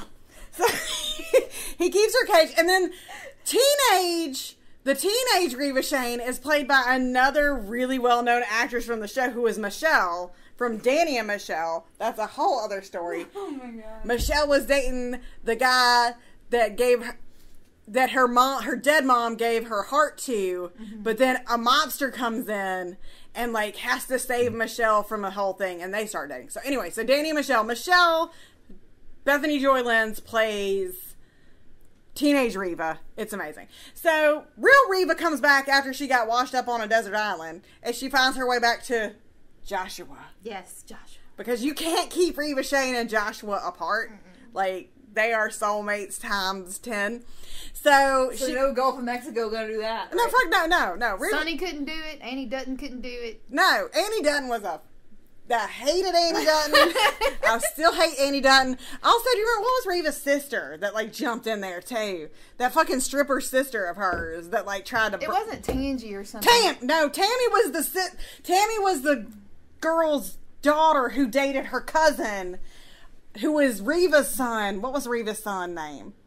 Sh- not. Did she, No, wasn't the crazy Shayne, one. Um, Jonathan. Jonathan. and oh, Tammy. Yeah. Okay. The all right. bad boy. Oh, had a God, crush on Jo- Jonathan. he had to have a crush on Jonathan. Oh, Jonathan. He was there for us. He was just angry all the time. Okay. Anyway, so like, hell, okay, he wasn't a blonde guy, was he? no, he was dark haired. That's what I He was like in love with his cousin. He didn't give a shit. It was like super forbidden. He had long hair. He, he Oh, that was super motorcycle jacket. forbidden. It used to be that that was super for fucking bidden. Anyway, okay. So Reva Shayne makes her way back to Joshua, finds out about the clone, and is like, nah, this isn't going to work.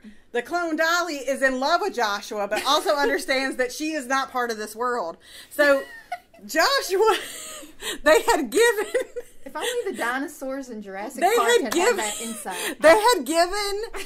Oh, the- please, they- they- make that movie, please. They had given the clone. Please. Hold on. They'd given the clone an aging serum. Oh like my to make her like older faster because Joshua couldn't wait that long. And so the clone is like, Well, Reva's gonna have to have him, so I'm gonna OD on this like this aging That's serum. what happened in this so what ends up happening is Yeah. young Reva, like normal age Reva, has to like hold her dying old ass self as she's like passing. It's the most amazing thing. Anyway, back to flowers in the attic and Well, VC before we Andrews. say that, please back to Jurassic Park via Guiding Light. Will you make that movie? Oh, we. I mean, Where, where, Where the, the where the clones dinosaurs are all like, all like incestuous, like um, like previous relationships, and the Velociraptor's Yeah. like, well, not with that bitch because she did this, and then yeah, oh, the please. Velociraptor's like, maybe I shouldn't be on this earth. dear Oh, Maybe I'm just gonna chew my own arms off. but only if Reva Shayne's the queen of the dinosaurs. Like, Dear she- Hollywood, I know that you love remakes. Do this for my me. God. it would be a good idea. It would be fun. I mean, would I, watch love, it. I love the I guy. know you'd watch it. It'd I mean, be campy as hell too. I mean, it would have a cult following immediately. I love Yeah. the guy. Like, okay, Not if they wanted it. You have to do this in all sincerity if you want a real cult following. You cannot. You cannot. Uh, to to quote Susan Sontag, blah, blah, blah, you can't make camp on a purpose. That's true. it is true. Yeah. But okay, so Oh, the connection though. Connection. You wanted, you wanted a let's do it. Let's do it. That's right. We're Let's tie it all back. people who are confused or upset or just slightly annoyed that we keep talking about the guiding light. We know all of you out there who have seen the show are like loving this, but if you haven't and you're confused and you're upset with us, that's okay because we're going to bring it back to flowers in the attic and how that's going to happen. Remember when Corinne brought the kids that TV set? Oh, we didn't even talk about that. Hold on. And Do they're, it. they're all it. watching that Do TV it. set, and Kathy's like, "Oh, they're watch. They were watching soaps, and Kathy was like, "Oh, Christopher or something. Our lives are like the soap operas. They never go outside. They, they." True, because you couldn't afford to shoot out there. Yeah, and right when they're on the cusp of something good happening, something bad happens.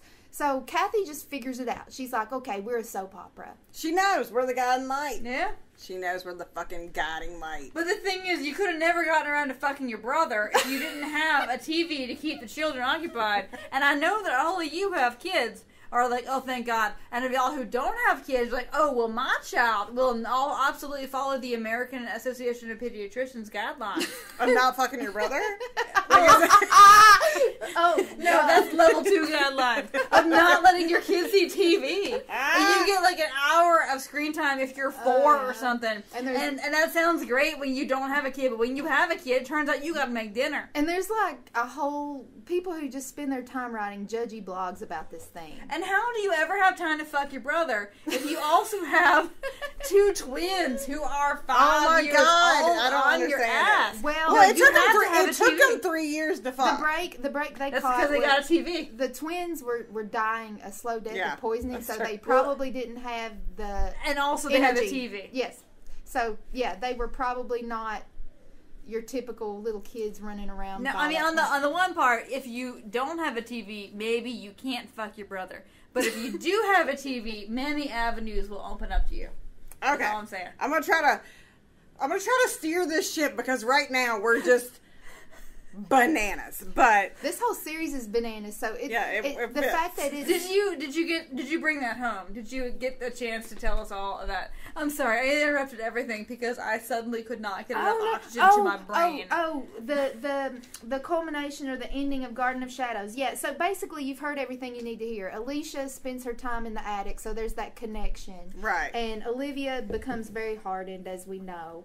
And then the we get back to that swan bed because when Corinne and Christopher Senior get caught doing the deed that gets them banished from Foxworth Hall, I think. And people can correct me when I'm wrong when they respond to this, but I think they get caught doing it in that swan bed.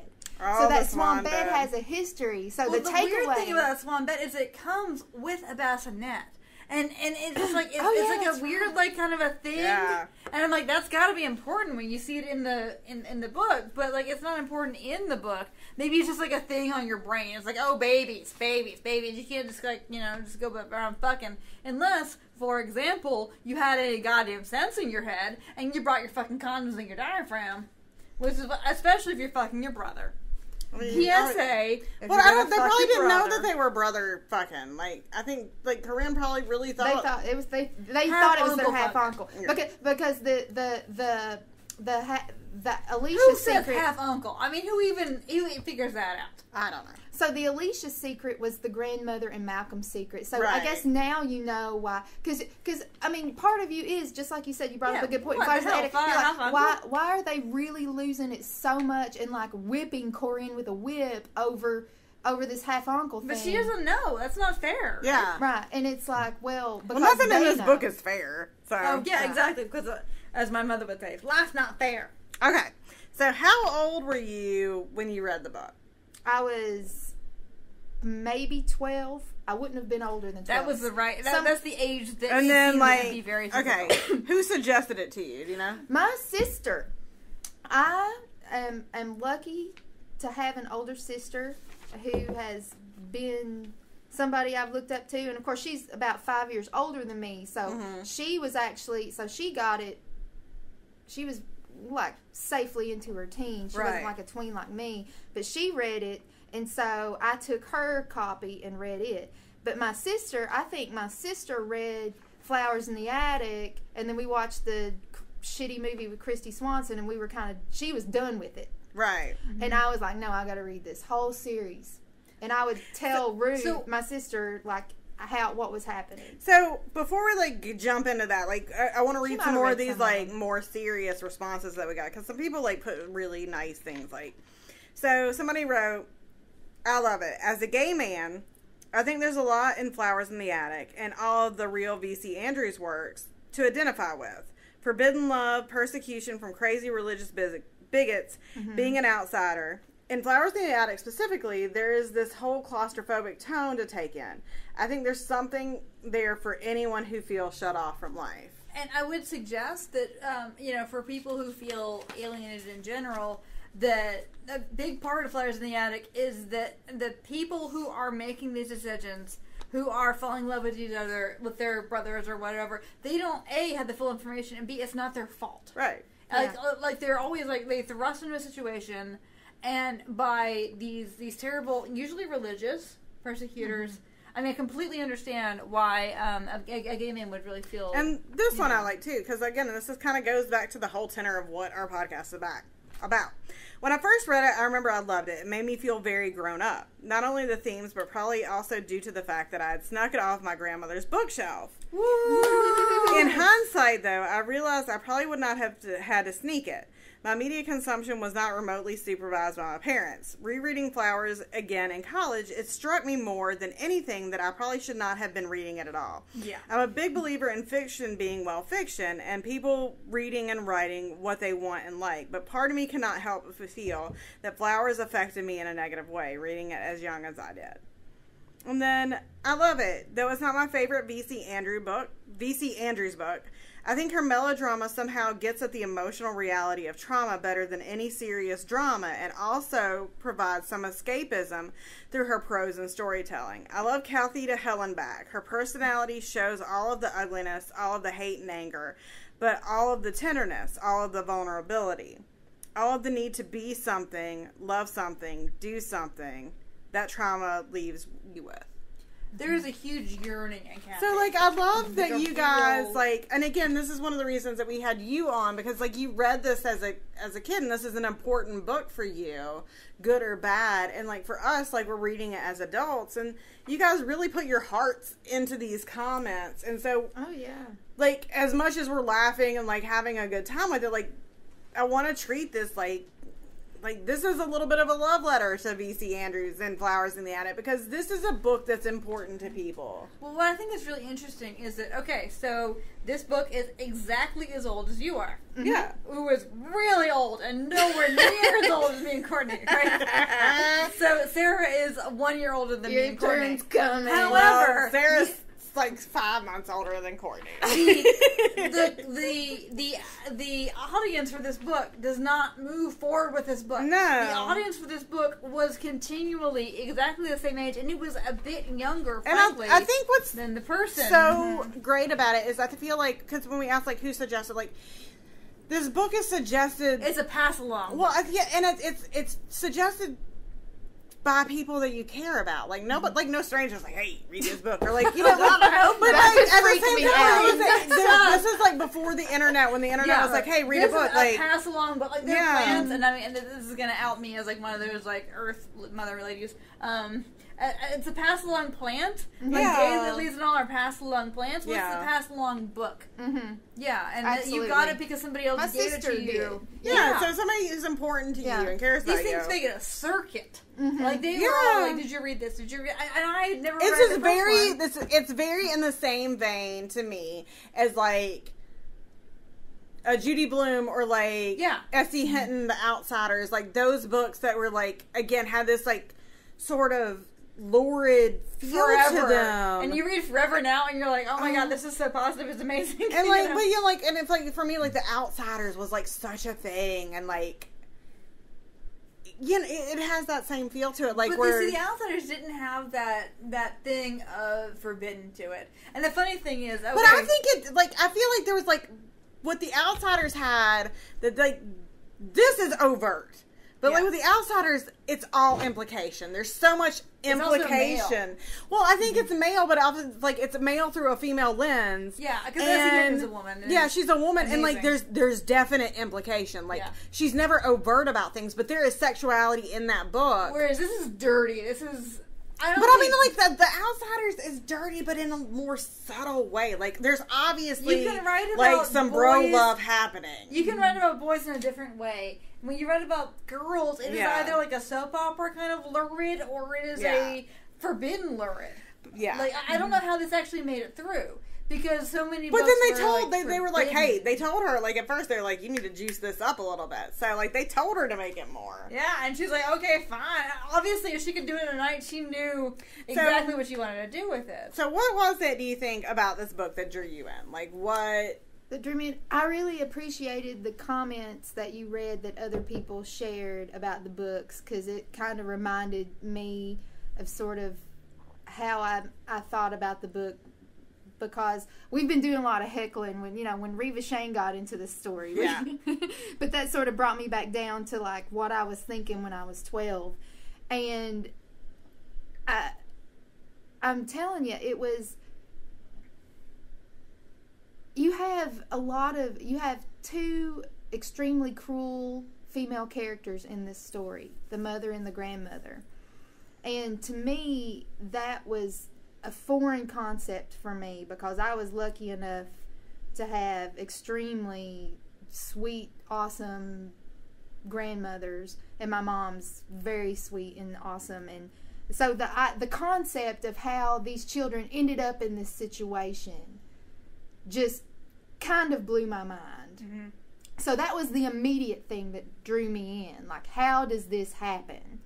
But the fact that I was also coming of age, you know, you have a lot in common. I was also kind of sassy. I was a lot like Kathy in that sense. I was definitely no ballerina, and I was definitely not crazy and blonde and like Kathy physically. Uh, right. But but you were crazy and blonde. but well, I no, yeah, started no. dyeing my hair when I was in the seventh grade. But anyway, I yeah, I just I like the fact that she was strong and that Mhm. she was fighting back and that she slapped her mother back. You know, the fact that she was figuring it out first. And you know, Christopher had his good attributes too, but he was really just a goody goody who was wanting to see the good in the mother and you you liked that he was sort of hope. And I think at the beginning of the book, is she talking about sunshine or the color yellow? Or Yeah, it's the color yellow is the color of hope. Yeah. That's like she talks, and- it's part of her like memoirs. Like when she Mhm. starts, and I, you know, I remember just because you know I, I read it recently, um, and that we didn't color them yellow because it was the color of hope, yeah. and it was like bullshit, but it was also you yeah, know, but but to my That mind, to, that, Like, to, to my being a twelve year old is not bullshit. Like No. it's like Yeah, yeah, because you're everything when you are that age is like ramped up to eleven. Yeah. to my mind, that was important to me because I remember I had a baton um, competition, and you know, girls about that age, you're just starting your menstrual cycle, right? And I had I had been twirling since I was six years old, so my my life as a twirler was without this minstrel shit, right? and when that came in, it sort of wrecked me and my ability I felt to like compete. And I never will forget. Like I was losing my mind. It's you know crying. I can't telling my mom I can't do this, and she just looked at me like, "Kid, you got a long way to go with this. Yep. You might as well get used to it." And that that was the kid who was reading flowers in the attic. Mm-hmm. So when I read this, like yellow is the color of hope, I'm like, oh wow, Yeah. you know Yeah. that meant something to me. And there's a reason I still remember. How many times have I repeated it? We lived in the attic. Christopher, Corey, Carrie, and me. Now there are only three. That will stay in my mind for the rest of my life. You know. And don't you think that maybe a bit of why Gothic is such a big deal for women, and I understand that we have a lot of male readers, but um, maybe for women it's that if you take femalehood and you bottle it down and you squish it hard enough, it, it, it pops out to this like big dark house. Like, it, you know what I mean? There's Like, always a big dark house. Yeah. like it's gonna be, you know, that, that, that if you make it so much more intense, and you if you multiply your feelings, which your feelings when you're a teenager are Yeah. so incredibly intense, that what you end up is is something that can only exist in a big dark house. Yeah. Mhm. And and I, I and I'm not sure that it's an um, you know a weird accident because um, people who love Dark Shadows, for example, Mm-hmm. are women and gay men whose feelings are mm, and it makes sense in this big dark house. You know, like Yeah. you're so squished down that like the only thing that like makes this sort of um, allegory make sense is if it is so extreme as it Yeah. because when you're a kid, my mother hates me. Like I'm not allowed to do anything. It has to be in extremes. Like that's Yeah. the thing. You can't really.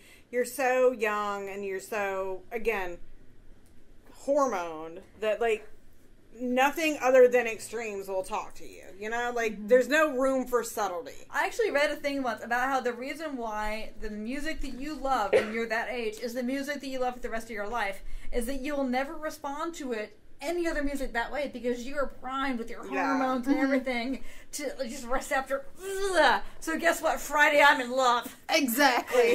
and oh, and right, right around that time too, Roxette was big, oh right? Oh my god! Oh and my I God. remember it might have been "Petals in the Wind" that I was reading by that time. But remember that song "Fading Like a Flower"? Oh my God! Yes. the room I feel Yeah. And. I mean, when if if Tori Amos ever comes to Yeah. South Carolina, No, I get and I get like- some, yeah, Well, yeah, it's gonna I- happen. I, You know I associated though that Roxette song specifically with this because Yeah. it was the fading like It's the flower. weird, like- in my little tween heart. Yeah, that and- was so important you to me. will Feel so If you- hard if about you that song. think You will never feel about that hard about the things ever. that we love so hard, like like flowers. That, flowers in the attic is the feminine version of the crow. Yes. Like Yeah. like how Yes. gothic and how how much we feel like again the crow is a thing that I still like like you're like the the it's yeah. a story of revenge. but like you know Yeah. but, but, but, but it's That's a story of, all re- wanna of do, revenge and like how like what's are allowed to do synonymous is like you know we lived in the attic like that quote versus like it can't rain all the time. Like it's Oh still something a thing you say and everybody fucking knows. away. like it can't rain all the time. Like it's so gothic and lurid and just love and you because know you're so simple at the time. Yeah. I mean, you don't want to admit it. You want to think that you are so. And I had a friend recent, like Yeah. I had a friend, so I had a friend who's my age watched The Crow for the first time as an adult, and like, Oh, don't do that. well, like he was, it was like he's like, oh, it's fine, it's you know, it's entertaining. I'm like, no, it's important. everything. Yes. Like this movie Yes. is important. So, like you know, and I talked to a friend of mine who like saw it the same age and like is as addicted. My friend who's like the that I described as the Angela Chase. Like she's Yeah. like, no. It's important. Like you must love it. You must love it as much as we love it. So I like I guess Crow. that's like the way I, can associate. 'cause again, and then see, like, so my husband is nine years older than I am, and I think there's a thing. You have to have imprinted like a duckling Yes. on a thing that Right. was then there Mm-hmm. because he is never going to get something that, that that did not get him at the time. Right, And I'm not going to get something tonight. So Blue Oyster Cult, I think, is his at the time thing. hey, sweetie. and like for us, it's You know? like yeah, like The Cure, and Yeah. you know, like God, do you re- you, you remember like oh, I can't remember like the mm-hmm. song, but like mm-hmm. Our like music, our music. STP, story. like Stone Temple Pilots, like what was it, what was the plush?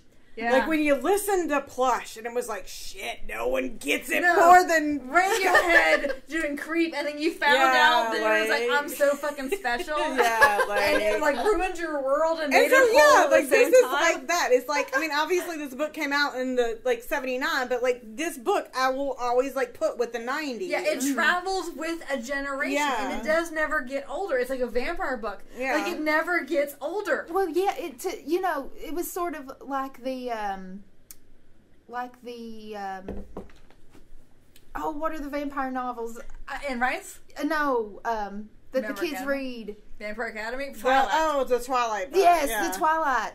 Um, I didn't read that, but I feel like there was that, and For there was- them, yeah, like yeah, It's- yeah, yeah. it's always a thing. Yeah, There's a always thing a thing. is your, and you think of something as romantic that is deeply disturbing to people who are older than you. By the way, it's not cool if a dude creeps in your bedroom and wants you to sleep without your Right, permission. yeah. Yeah, and I didn't read any of the Twilight books, but I know people my age who did who really enjoyed them, and I watched the movies and I enjoyed them. I, actually, I read them and I found them. Uh, the first one, I was at two in the morning. I was reading that. Right, shit. like it's a it's a page turner, and I think it's a page turner in the same way that like VC. good. I But- felt but like it's queasy, the same page turner in the way that VC Andrews is. Like Yeah. I think it touches something those Yes. nerves. that, that connects you. It, it gets you the same way. Mm-hmm. yeah, Yeah, and there's always a thing. I don't know what it is these days. Like what readers? Yeah, What are the Tell kids, us. What are the kids reading? What are yeah, kids reading? So, I mean, I, I get like uh our our audience. So, what are your kids reading? So, do you remember like do a, did a lot of your friends read it as well? Because Yeah. like that's the thing we and we talked were about is talking seeing it about on it the in huddled circles. We Yeah. were we were talking about it in huddled circles, and we were you know sharing books. I had them all. I think so. My sister gave me uh, Flowers in the Attic, and then I got the rest of them at the in the book section in the Walmart in the next Mhm. town over. Did you find that cut up cover to be as fascinating as I did? Like the Yeah. concept of like I Yeah. remember seeing. I Yeah. remember vividly that, even though I never read the books. Yeah, I remember yeah. like I think my mom had the book, and I remember the cover, and I was like that whole like you open it up, and it was like Yeah. a secret. Yeah. It was like a s- like it was like a little like the idea of the book. Yeah, yeah. And my mother would have never had that book, but somehow I still somehow Yeah, knew like, the cover. again, it was like this thought it was too good for this book. yeah, it's it's it's it's definitely uh, captivating in that way. The cover was, and and we And were I am always fine, talk- by the way, with this podcast listening as long as it does, because this is like the thing. This, is, what we do. Like I feel like this, this is is probably the, vein. most, and This like our the- whole, the whole point of like what we talked about again is like somebody actually put it in the comments about like taking taking something from your grandmother that like you're not supposed to have, and like it making you feel This like is an so adult. close to the bone. This Yeah. is so vital, and in, in to the sense that you and I both had like a bad night. Mhm. Yeah, even though you Yeah. had read it before, we There- had a bad night. there are a few things from my from like a few things that I was totally into from my childhood that still Yeah. give me nightmares. Oh yeah, And this is one of them. And this is not the obvious one. The obvious one is uh, Michael Myers. Every once in a while, I'll have a Halloween Michael Myers dream where I'm running from Michael Myers. Yeah. yeah, You know, that's so obvious. But the flowers in the attic dream is the dream. I would have dreams like that around the time that I was reading the book. it's complicated, and isn't it? and all these years later, I start thinking about these books, maybe putting a few notes together, I love that your few notes together. It's like. It's amazing. uh, we're gonna take a picture of it. and I, I just go to sleep and I wake up and I'm like, motherfuckers, I had a flowers in the attic dream and it was so creepy. Help. I feel like it's complicated. I mean, like if I had read this at the time, and tell me what you think about this, because this is obviously a terrible thing that's happening to these kids, but their relationship is maybe delicate. Mm-hmm. It's but yet it's rapey, but yet I, I, I really such a rooted for 'em. complicated. It's tragic because they didn't get a chance to know. right, like, but uh, But did you want them to? I mean, No. because yeah, they were brother and sister. you kind of wanted them to be together. At least I did in Flowers in the Attic. Well, because basically when she gets, we and that solidifies after the fact because Paul is, is a creep. I mean, Paul's yeah, not written as a creep, but you get that about him. right. And then Those are definitely not children in the attic And- you're hearing in the background. and- We've got some children in the attic walking around. Yeah, you can have some children. children. I'm sorry. I love um, uh, Night of the Hunter. Uh, that's my jam. Uh, no, you can have some more. That's fine. yeah, there he goes. Say hello. Oh, he knew about he knew about the scene, or he knew about the word. section where Yeah. um, where Say something so Catherine we don't sound like got crazy tart people. stuck in her hair. Yeah, so my husband, who just walked through and got wine and like refused to say anything, he has never read the books, but he knows enough. Like again, it's something that's so entrenched in our cultural memory that he was like, "Oh yeah, that's the book where he just, like what do you say? He's like, she got asphalt." in her Every yeah, Yeah. every guy our age knows at least something about Because. Yeah, because well, every girl, and you want to know what because we you used to read it out loud. It was a big deal. was a like because deal. because the boys wanted to know like what's going on. It was the soap opera. Yeah. I mean, well, I find that so interesting. The whole thing with the hair, because obviously, even within the context of the book, it is like ridiculous. Her hair was like a Yeah. down to straw after what Yeah. had been done to it, and, And, she like, shaved off the front third, but it was But her I- hanging on to her body. But also like mm-hmm. Christopher like staying up all night and like mixing compounds like and he's, like he's doing everything he can, and it's and that's that's a gesture of love right there. yeah, and like you know that they're Good love is one hundred percent. Yeah. Now, whether it's good love or bad love, I mean, you know. Oh my god, I was so I was so there for it. I was so there for the Christopher Kathy Because love. I mean, like the person who stands by you no matter what. yeah. Yeah. And you know, quite frankly, oh yeah, you think we're gonna do it? Fine, fuck you, we gonna do it.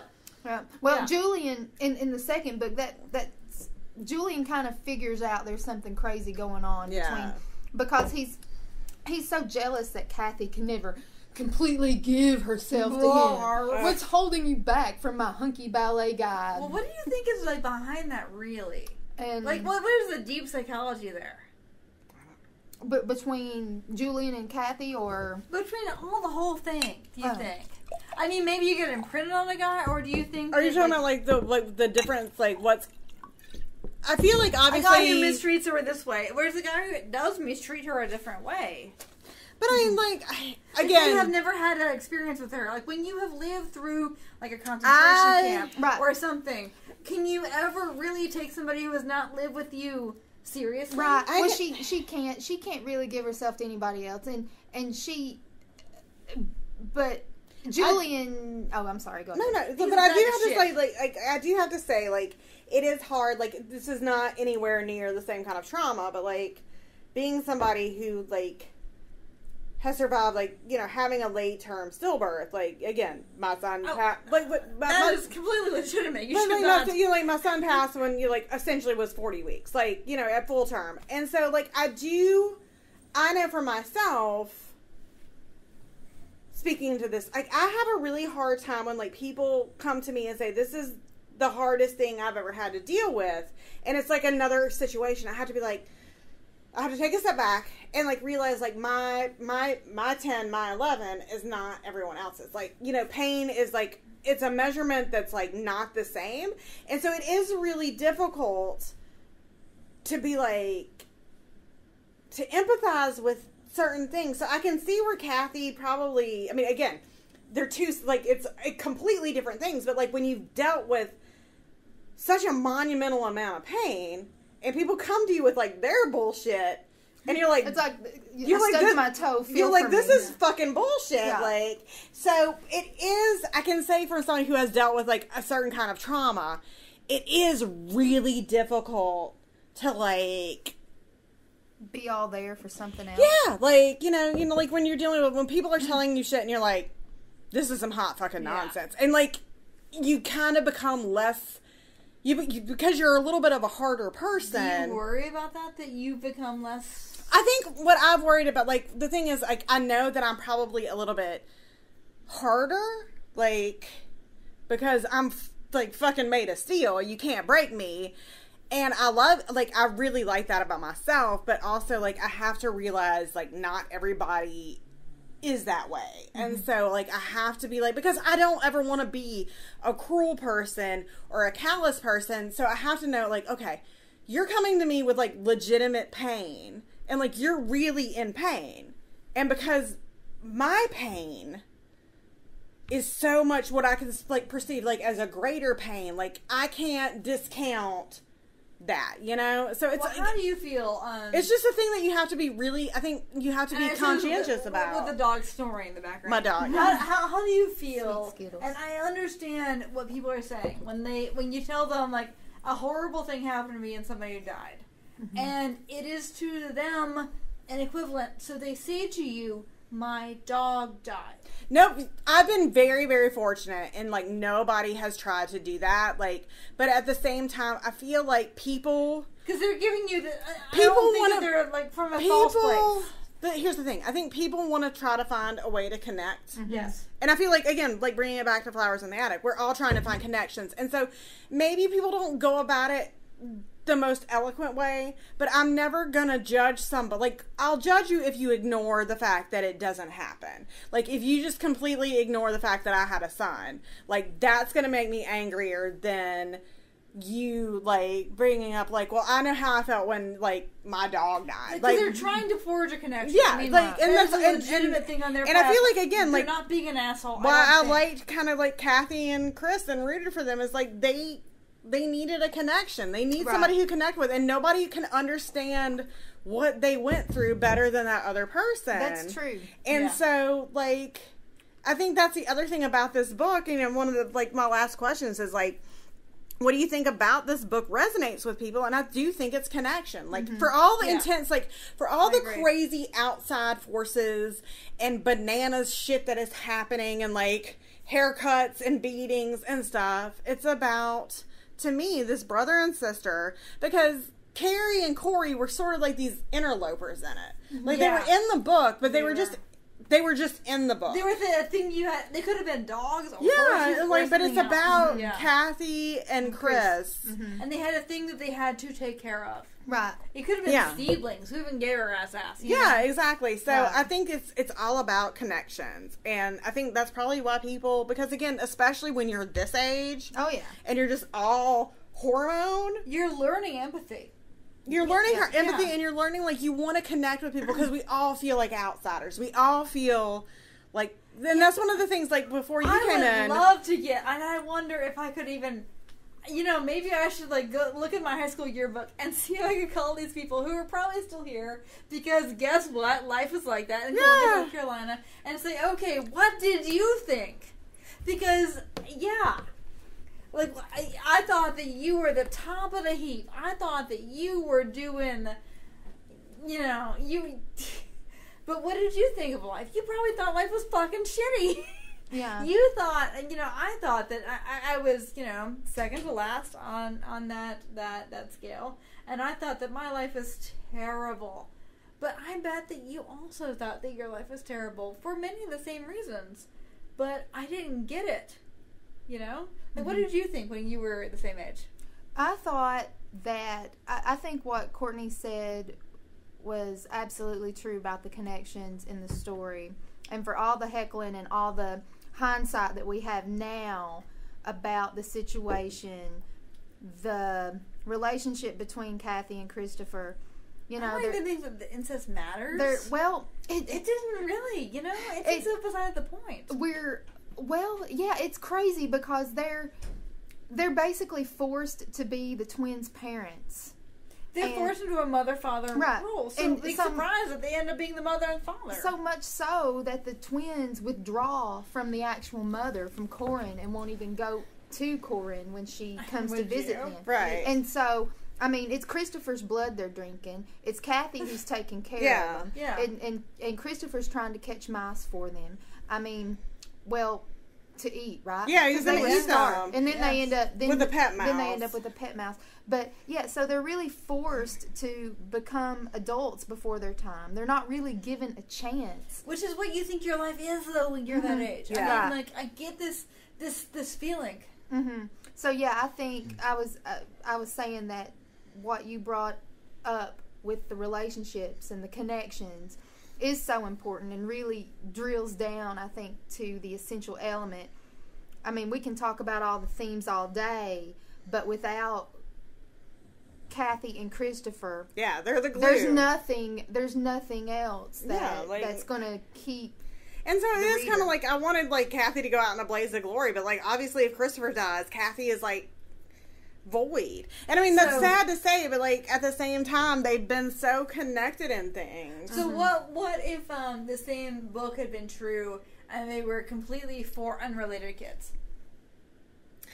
I mean, I think obviously Point. if they had been unrelated, Because I feel like just their for- previous life is sort of like void. It didn't matter. Do you think it would have been like Hunger Games and they would have just killed and eaten each other? well, I mean, it is interesting. No, like, I mean, not think- literally Hunger Games. I don't. I don't. I really don't. I don't because I think that the older kids would have assumed the same parental roles. I mm-hmm. really do. Because people do that. I mean, that's what I think is funny about this whole idea Yeah. of the apocalypse. And like, oh, we're gonna eat each other. No, you're gonna still want a pharmacist. You're gonna still. You don't want to, yeah. Like, I, do, I, I, don't know. Like, I do, I do think People it's interesting to think about. Like communities are sort of a sweet, generous thing that people want to be among Yeah. other people with relationships. Mm-hmm.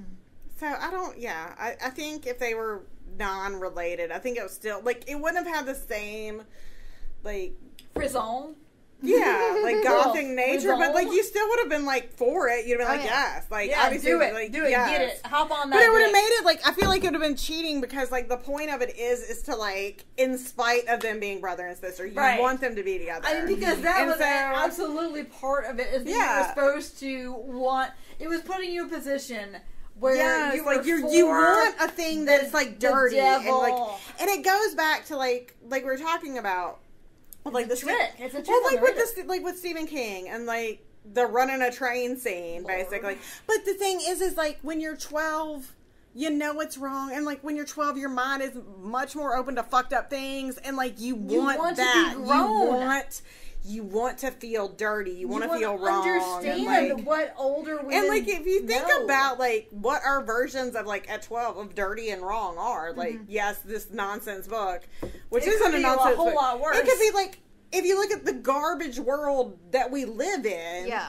like again stephen king writing I a moved really on it like a bitch. When you're rich, you can do anything. Yeah can like when stephen like yeah that's what i'm saying like stephen king's like whole beverly like You can rape them in the swan bed if you're Right. Malcolm Yeah. Foxworth. you know like But uh, she she chose that. She assented to that. But you know what I mean? Like, I feel like the things that we think, and again, we look at it from adult eyes and say, this is wrong. But you know what?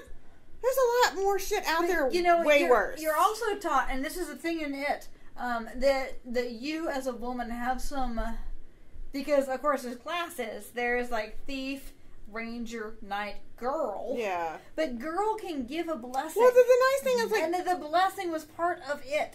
You know, is that like um, the, the, as a woman, it was it was her choice, and she chose to bless this.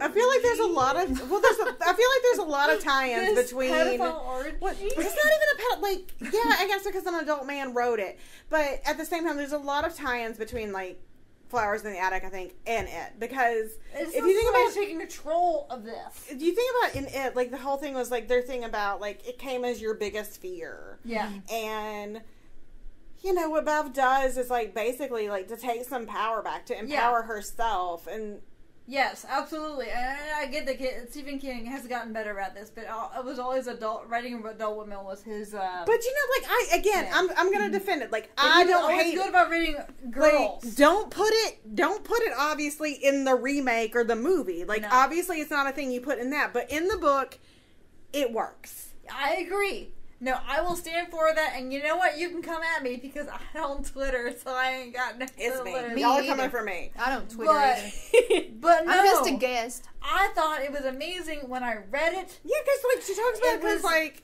she vital loses to me. She loses her virginity not to one of the main two. It's to like, lose them all. but like I think it's like Ed, like whoever like takes her virginity. I think might have been like Eddie or what. Like it wasn't. the the fat dude with No. the bigger penis. it wasn't Ben. Gross. Ben was not. But the thing is, is Ben's the one she ends up But with. Bill is a sweet. I how it, it's a thing. Well, listen, I don't want to go into the minutia because it's. But still, like it's it's when you think but about it. it- it- But at the same time, we're it is her we're power. It is about her power. we remember this how many years after the fact, No, like that we was read about this. Her power. It Yeah. was about her her ownership of the situation. It Yeah. was about ah, and I feel weird, but Like, no, yeah. I am in support of that sound. Only, but only if you read it before a certain date. Anyway, I know we're, we're getting like like No, it matters. It matters a lot. it does matter, and I think it is relevant. It's important, and I think our readers either they don't care or they do care. If they do care, they're going to be with us. yeah, I know, but I do think it is like for flowers in the attic. I think it's an. I think it's really easy to dismiss this as being soap opera nonsense, and it is fun to do that because it is soap opera nonsense. It's titillating. it's really titillating and it is crazy and amazing and like banana stories but at the mm-hmm. same time this is something that like caught fire It was Oh, yeah. and was important to people. to people, Yeah. and so it is important to like treat it with But that it's important Yeah. not I to agree. a. I think it's fascinating. It's not important to a generation. It's important to a specific age group. Right. yeah Like so, like it's a time traveling Yeah. thing. Like if you are thirteen, but see like i wonder your if like business. 13 year old mm-hmm. girls are like flowers in the attic like i mm-hmm. hope i mean I don't know. I don't know any of them now. yeah i don't know so My kid's four, so he's really into um nothing. Yeah, mine's four. She's daniel tiger she's Yeah. still in daniel Tiger. Oh fuck Daniel Tiger. she likes Oh. all the she likes all the things on Netflix. See, and he, she does love PBS Kids. Oh, she's like Martha Speaks is her big thing right now. See, She's moved on from Daniel. We have a, encourage our child to love OG Mr. Rogers because um, fuck that Daniel Tiger shit. It's all about conform, conform, conform, and fuck that shit. But also he loves PJ and True is a thing now. Like, oh my god. yeah, I've watched a little bit of the True, and I I'm I don't know what's going on. Yeah, I have you three wishes. Uh huh. So, um, it's auto tuned. You can get in some auto tune business. well, um, Netflix did um, a new Anne of Green Gables series. Yeah. Oh, I I was in it And I- until. there's a and- lot more trauma and i like the Yeah. trauma And I watched no, it. I hated it. But see, at the same time, like honestly, what do you think Anna's gonna have to deal with in real? Like I like that. I don't. I don't like that. Like It's made up. It's so made I up. gotta say, like, How- I, I mean, I, I love Anne of Green Gables so much, and I, I don't like Gilbert going to the Caribbean, but, But- like, but like, I, I have to say, could like, the new one isn't bothering me. It didn't bother me. I like the idea. Why not? I'm Why sorry. not? Why not? Because I just love Anne so much. And Oh, I like the they idea cast because like, but amazing. But I mean, I, But I see- love, I love, I love the character of I Anne. Like, love I the love, idea of Anne. Anne. I Well, love see, what Anne is. This and so there's really no Yeah, way you can I- fuck her I up. have, I've recently there's an read- unrealistic expectation that Anne of Green Gables, who like you know was like hanging out in orphanage, orphanages until she was like 11 or 12, had no trauma. So I do like you're you're I trying to like put some trauma behind it. But Like, they're making drama about like uh, people stealing this and that. That's not I mean, what it's Gilbert about. like de- delivering babies. Okay, And so I- I like- think we should probably Yeah. because this is gonna be 14 hours long. Ah, but I have So- things to say. well, so we many have- things to we say have about a- Anne Green Gables. Well, we're gonna have an Anna Green Gables I'm like sorry. mini The only series reason one. I brought it up is because it's one of the adult things that I've not. It's not an adult thing, I but tell it's you what. it's it's one of the like not cartoony things that I've Yeah. let my daughter watch. We're gonna and she loves it, and she says let, let's do Anna Green Gables. there's one. We're gonna bring our friend Renee on, who is Yes. obsessed with we Anna will Green have Gables. a panel discussion about Anne Green Anna Gables. Green Gables, like we're gonna talk about the mini oh series. Oh like my Renee God. Lewis will be here. Can there and, be a drinking game? Yes. For and let me say, I'm every time he says, "I'm sorry," and you've I'm got to sorry, do yes, something. it's gonna be Yeah, awesome. well, we will Yeah. do Anna Green Gables, and, and I, I, we are completely here for that because I think that our Well, like when after Yes. the actor that played Gilbert passed, I read a really good article that talked about him and saying like he was all, all of our like again with it's this all ties in. It all I ties in. I love in. the competitiveness between him and Anne. I love it, I love it, know love it, love it, love it. legitimately But- smart and love love together. But the thing is, is ah. like they talked about after that actor who played him passed. They said like the thing is, is like he was all for all of us, like our age range. He was our first boyfriend. Oh God, yeah. No, fuck him, Mr. Rochester. I'm sorry, I'm the weirdo. yeah, of Well, course. I you was kind of obsessed with the Goblin King, but that's Oh, a but, totally but, story. yeah, obviously. In his tights. Yes. You All have right. any All questions? right. All right. We gotta. We gotta wrap it up. We gotta wrap it up. This is. And that's where we ran out of storage. I honestly don't know how much longer we talked. It could have been an hour. It could have been a moment. Um, we obviously had a lot to say, uh, but it's probably a mercy that that stopped when it did. Uh, thank you all for listening. Uh, we hope that you enjoyed it, and we really appreciate all of you who bothered to put so much work into your uh, survey answers and put so much heart and effort into discussing with us and inter- uh, interacting with us about this crazy book. Um, keep tuned for next time when we will be talking about the first Barnabas Collins book by Marilyn Ross in the Dark Shadows line of extremely cheap paperback novels. America's Grooviest Ghoul.